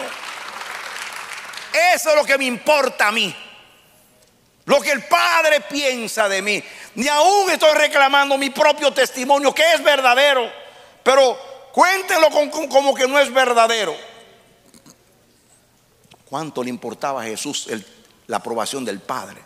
Que dice mi testimonio no es verdadero. Si fuera solo, no fuera verdadero. Si el, Padre no secunda lo que yo digo acerca de mí, no me crean.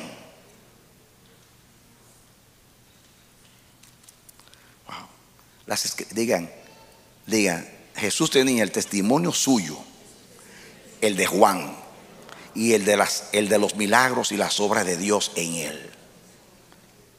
Otro testimonio. Sigamos leyendo, el 37. También el Padre que me envió ha dado testimonio de mí. ¿Quién dio testimonio? Nunca habéis oído su voz, ni habéis visto su aspecto. Sigan. Ni tenéis su palabra morando en vosotros. Porque a quien Él envió, vosotros no creéis. Ahora viene el, escuchen, escudriñad las escrituras. ¿Saben ustedes? En, ese, eh, ese verbo en el original puede estar en imperativo como es traducido, pero la idea es, la idea en el original es, ustedes estudian las escrituras porque a ustedes les parece que en ellas tenéis la vida eterna. ¿Saben qué? Ellas son las que dan testimonio de mí. Aleluya. Eso es lo que dice. Ustedes estudian las escrituras. Porque ustedes creen que en las escrituras está la vida eterna. ¿Saben qué? Ellas son las que dan testimonio de mí. Amén. En otras palabras, Jesús dice, yo no, yo no me baso en el testimonio de lo que yo diga de mí, ni en lo que Juan dijo de mí, sino en lo que el Padre dijo de mí y lo que el Padre hizo a través de mí las obras y lo que el Padre dijo en las escrituras acerca de mí.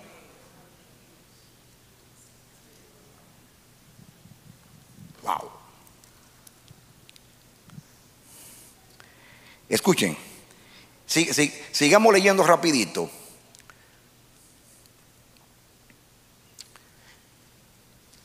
Ahí está un llamado. Eh, vamos a ver 45 y 46 para ahorrar tiempo. No penséis que yo voy a acusaros delante del Padre.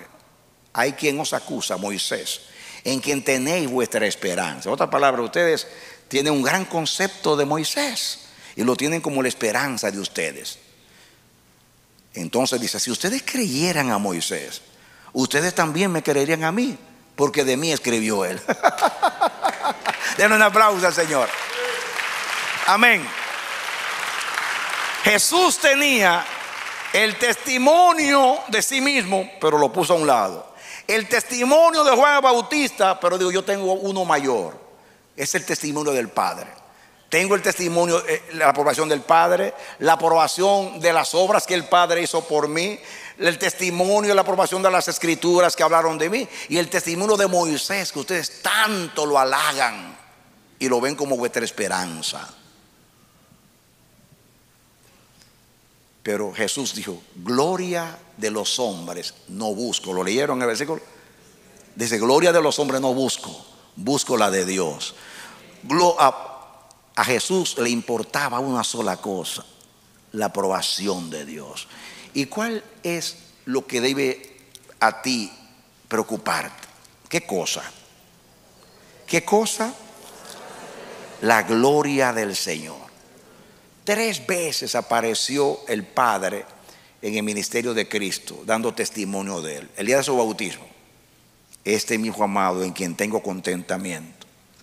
En la transfiguración, cuando Pedro dijo, hagamos tres pabellones, y desaparecieron Elías y Moisés y quedó Jesús solo, dice la Biblia, y quedó Jesús solo. Y se oyó la voz, este es mi hijo amado, en quien tengo contentamiento, a él oír. Y la tercera vez fue cuando Jesús entraba triunfante a Jerusalén, que todos gritaban, oh santa, bendito el que viene en el nombre del Señor. Y de momento se oyó una voz como un trueno que, que habló y, y dice que Jesús dijo, ese trueno no vino, no vino por mí, sino por ustedes. Y se oyó la voz de Dios que dijo, y Jesús, la voz de Dios este es mi hijo amado en quien tengo contentamiento. Y Jesús dijo, Padre, glorifica tu nombre. Y Dios le respondió, a través de ti ya lo hice, pero lo voy a hacer aún más cuando yo te, te levante entre los muertos. Dale un aplauso al Señor. Aleluya. Ujú. Aleluya. Ay, ay, ay, ay. Mi alma alaba al Señor y mi espíritu se regocija en Dios mi Salvador. Y el último versículo para terminar se encuentra en Hechos capítulo capítulo 2. Hechos 2 versículo 22. Hechos 2 22. Miren lo que dice. Eso fue la predicación de Pedro. Varones israelitas, oíd estas palabras. Jesús Nazareno, varón aprobado por Dios. ¿Por quién? ¿Por quién? ¿Por quién? ¿Cuál fue la nota tónica de la predicación apostólica? Jesús de Nazaret, varón aprobado por Dios entre vosotros con las maravillas, prodigios y señales que Dios hizo entre vosotros por medio de él, como vosotros mismos sabéis. A este resucitó Dios entre los muertos, de los cuales nosotros somos testigos. Diga Jesús de Nazaret, varón aprobado por Dios. Yo quiero que un día el Padre me diga, Jesús me diga, bien, buen siervo y fiel, sobre poco has sido fiel, sobre mucho te pondré, entra en el gozo de tu Señor. Den un aplauso al Señor, amén. Amén. Amén. Hermanos, yo interpreto, porque cuestioné al Señor, hasta tuve la tentación de cambiar el mensaje por, un, por otro mensaje. Pero no me atrevía porque estaba tan seguro que Dios me decía que este era el mensaje, pero no tenía ni siquiera el orden, no sabía para dónde, qué rema, para dónde me llevaba Dios. Y yo he aprendido que si un mensaje no tiene rema, no se debe predicar, porque no es una homilía. ¿Saben con homilía? Lo hacen los sacerdotes, que ahí leen un texto y empiezan a hablar, hablar, hablar, hablar, y no se sabe de qué están hablando. Tiene que haber una enseñanza, tiene que haber una aplicación, tiene que saber esto es lo que yo estoy enseñando. Pues eso es. Y yo no me atrevo a predicar. Entonces, ya preparándome, el Señor me iluminó y entendí y me puso el orden así como se, lo prediqué y entonces entendí. Y ahora Dios me revela y nos revela por qué en el primer jubileo comenzando el año de las dos varas, Dios enfatiza y dice lo más importante, en otras palabras, en el año de sacerdocio, vivan para que yo apruebe vuestro sacerdocio. Amén. Miren lo siguiente. Jesús habló y puso el testimonio de los milagros. Después que dijo, el Padre da testimonio de mí, dice, si no me creen, a, no creen a eso, miren las obras que el Padre ha hecho por medio de mí. En otras palabras, en otras palabras, el sacerdocio de Cristo hizo que Dios lo aprobara. Y como Dios lo aprobó, entonces le dio la vara de la autoridad para hacer milagros, señales y maravillas. Y aún lo levantó entre los muertos porque se complació en su vida y en su muerte. Amén. En otras palabras, lo que mueve el poder de Dios en nuestras vidas, porque este es el año de la unción también. Unción de autoridad. Dios va a hacer milagros este año. va a hacer obras maravillosas si con diligencia procuramos ser aprobados. Vivir irreprochable. Vivir de tal manera que le callemos la boca al diablo. Amén. Cállale la boca, Satanás. Cállale la boca. En el nombre de Jesús. Vivamos de tal manera que el diablo tenga... Es un mentiroso. Que cuando hable mal sea mintiendo. No porque le hemos dado lugar. Amados, como a Jesús. Miren, yo, yo me doblego viendo a Jesús diciendo, si doy testimonio de mí, el testimonio mío no es verdadero. Hay otro que da testimonio de mí y eso es lo que vale. Jesús. Claro que su testimonio era valioso. El humilde. Para exaltar al Padre dijo, no me, si no me quieren escuchar a mí, si no me creen a mí, créanme al que me envió, al que habló de mí, al que hizo las obras a través de mí. Si ustedes conocieran al Padre, ustedes no me rechazaran. si ustedes supieran quién soy yo para el Padre, ay, un día el Señor le va a quitar el velo a Israel. Le va a correr el velo y van a ver como pasó con, con- con los hermanos de José, que no sabían que ese era José. Ese Jesús que ustedes crucificaron, Dios lo ha hecho Señor en Cristo y en ningún otro hay salvación, porque no hay otro nombre debajo del cielo dado a los hombres en el cual ustedes pueden ser salvos. Amén. Amén. Cuando José se desnudó delante de sus hermanos y dijo quién era él, él estaba diciendo, José, hijo de Jacob, ese que ustedes mataron y crucificaron, hoy es el padre del faraón y el señor de todo Egipto. Así un día Israel, Israel va ahí donde van a ver a Jesús y van a, decir- van a llorar. Dice que va a haber lloro en la casa de David. Van a llorar y van a ver al que traspasaron. No va a decir, ay, nosotros que duramos 20 siglos hablándole mal de ti a nuestros hijos y diciendo tantas cosas terribles. Y ahora vemos que tú eres, el, eh, te entregamos. Te entregamos a los romanos como, como los hermanos entregaron a José y lo vendieron. Te vendimos, te entregamos, te traicionamos. Pero ahora sabemos que Dios lo hizo para salvar al mundo, salvar a Israel y cumplirle a Abraham la palabra, serán benditas en ti todas las familias de la tierra, en la simiente de Abraham que es Cristo espiritualmente. Hoy el Evangelio es predicado en toda nación, tribu, lengua y pueblo. Y la tierra está siendo llena del conocimiento de Jehová como las aguas cubren la mar. ¿Quién lo cumplió? Jesús. El verbo de Dios, el instrumento de Dios. Yo lo veo espiritualmente. De momento así lo veo, lo veo cabalgando en el caballo blanco, con una multitud detrás. Vean la insignia, el verbo de Dios. Pronto vendrá cabalgando. El que cabalga sobre los cielos. El verbo de Dios.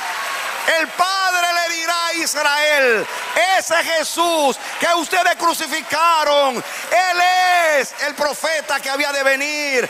Él es el que había de venir, que anunció Moisés. Jehová os levantará un profeta entre vosotros. Aleluya. Aleluya. Amén. Amén. Padre, quiero tu testimonio. Padre, quiero tu testimonio. Padre, quiero tu testimonio. No quiero testimonio mío. No quiero testimonio de los hombres. No quiero, no quiero tampoco del testimonio del diablo. Quiero el testimonio tuyo. Vivamos para Dios. Que nos importe solo Dios. Solo vale la opinión de Dios. Solo la opinión de Dios. ¿Saben de las cosas que nos vamos a librar? Si solamente nos importa lo que Dios piense de nosotros, vamos a vivir sin complejos. Vamos a vivir sin preocupación de que lo, lo que los demás piensen de nosotros. Que se burlen, que hagan lo que quieran. Vamos a vivir libres porque la verdad nos hace libres. Y la verdad es que Dios en Cristo te aprueba. Aleluya. Aleluya. Somos aprobados en Cristo. Somos aprobados en el Espíritu Santo por la obra del Espíritu. Ya Cristo terminó su obra por nosotros y ahora lo está haciendo el Espíritu Santo. Si Cristo no fracasó en la misión de redimirnos, tampoco el Espíritu fracasará en la misión de santificar. Aleluya. Aleluya, aleluya, aleluya, aleluya. Aleluya, aleluya, aleluya, aleluya. Aleluya, aleluya, aleluya. Porque Dios no fracasa. Porque Dios no puede ser vencido de lo malo. Cristo le dijo al Padre, de aquellos que me diste, ninguno se perdió, salvo el hijo de perdición. Un día me lo reveló el Señor, cuando la iglesia sea trasladada a recibir al Señor en el aire, como está escrito, el Espíritu Santo subirá primero y nosotros después. Cuando se encuentre él primero con Jesús, le va a decir, estos fueron los hijos que me diste a cuidar. Ninguno se perdió.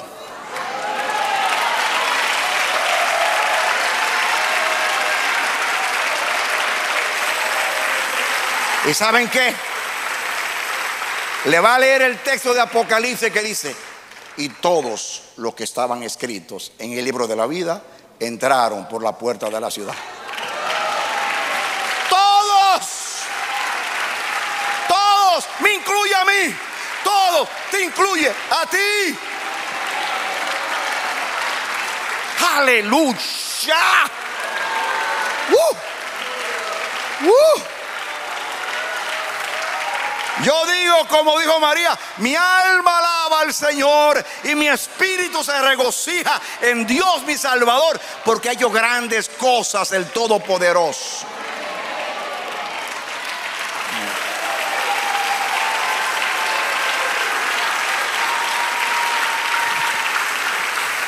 El que aprobó a Jesús, me aprobará a mí. El que aprobó a Jesús, te aprobará a ti. Solamente vivamos en el Espíritu. Y el diablo cerrará su boca para siempre. ¿Quién acusará a los escogidos de Dios? Si Dios es el que justifica. ¿Quién nos condenará? Dice Pablo. Si Cristo fue el que murió, el que resucitó, el que está a la diestra del Padre, el que viene por nosotros. ¿Quién nos apartará del amor de Cristo? Tribulación, angustia, persecución, hambre, desnudez, cuchillo. No, como está escrito, ni los ángeles, ni potestades, ni principados, ni lo presente, ni lo porvenir, ni lo alto, ni lo bajo. Ninguna cosa, mire, mirando al diablo dice, ninguna cosa creada los apartará de mi amor. Ninguna cosa creada.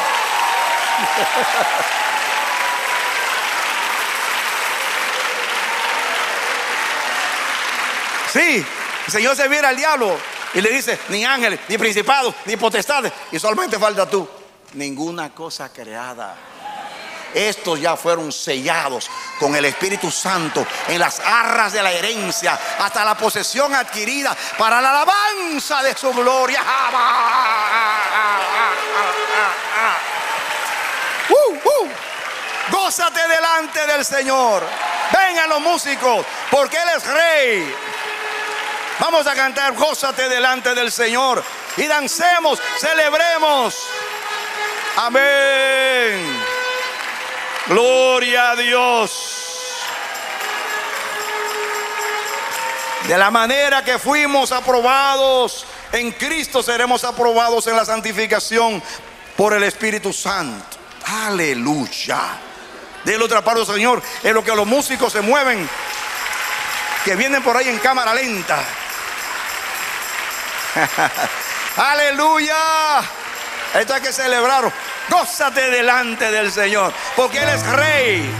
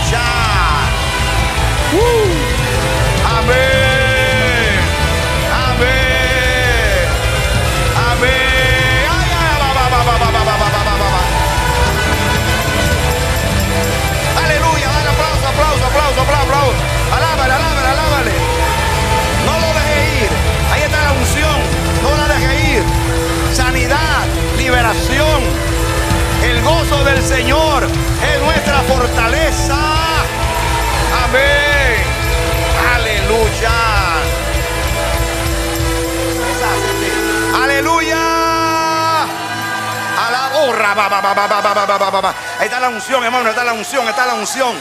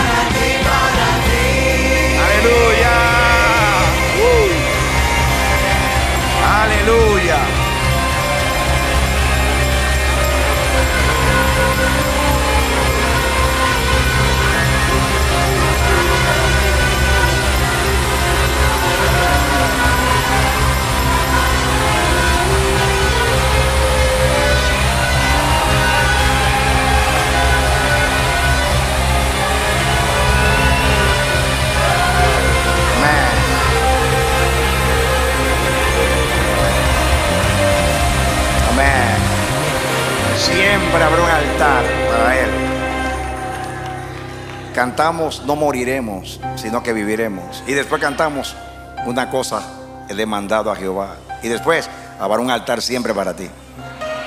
Vamos a despedirnos, Padre, gracias. La verdad, este ha sido un verdadero jubileo. Gracias por tu palabra, Señor. La llevamos en el corazón depositada para vivirla.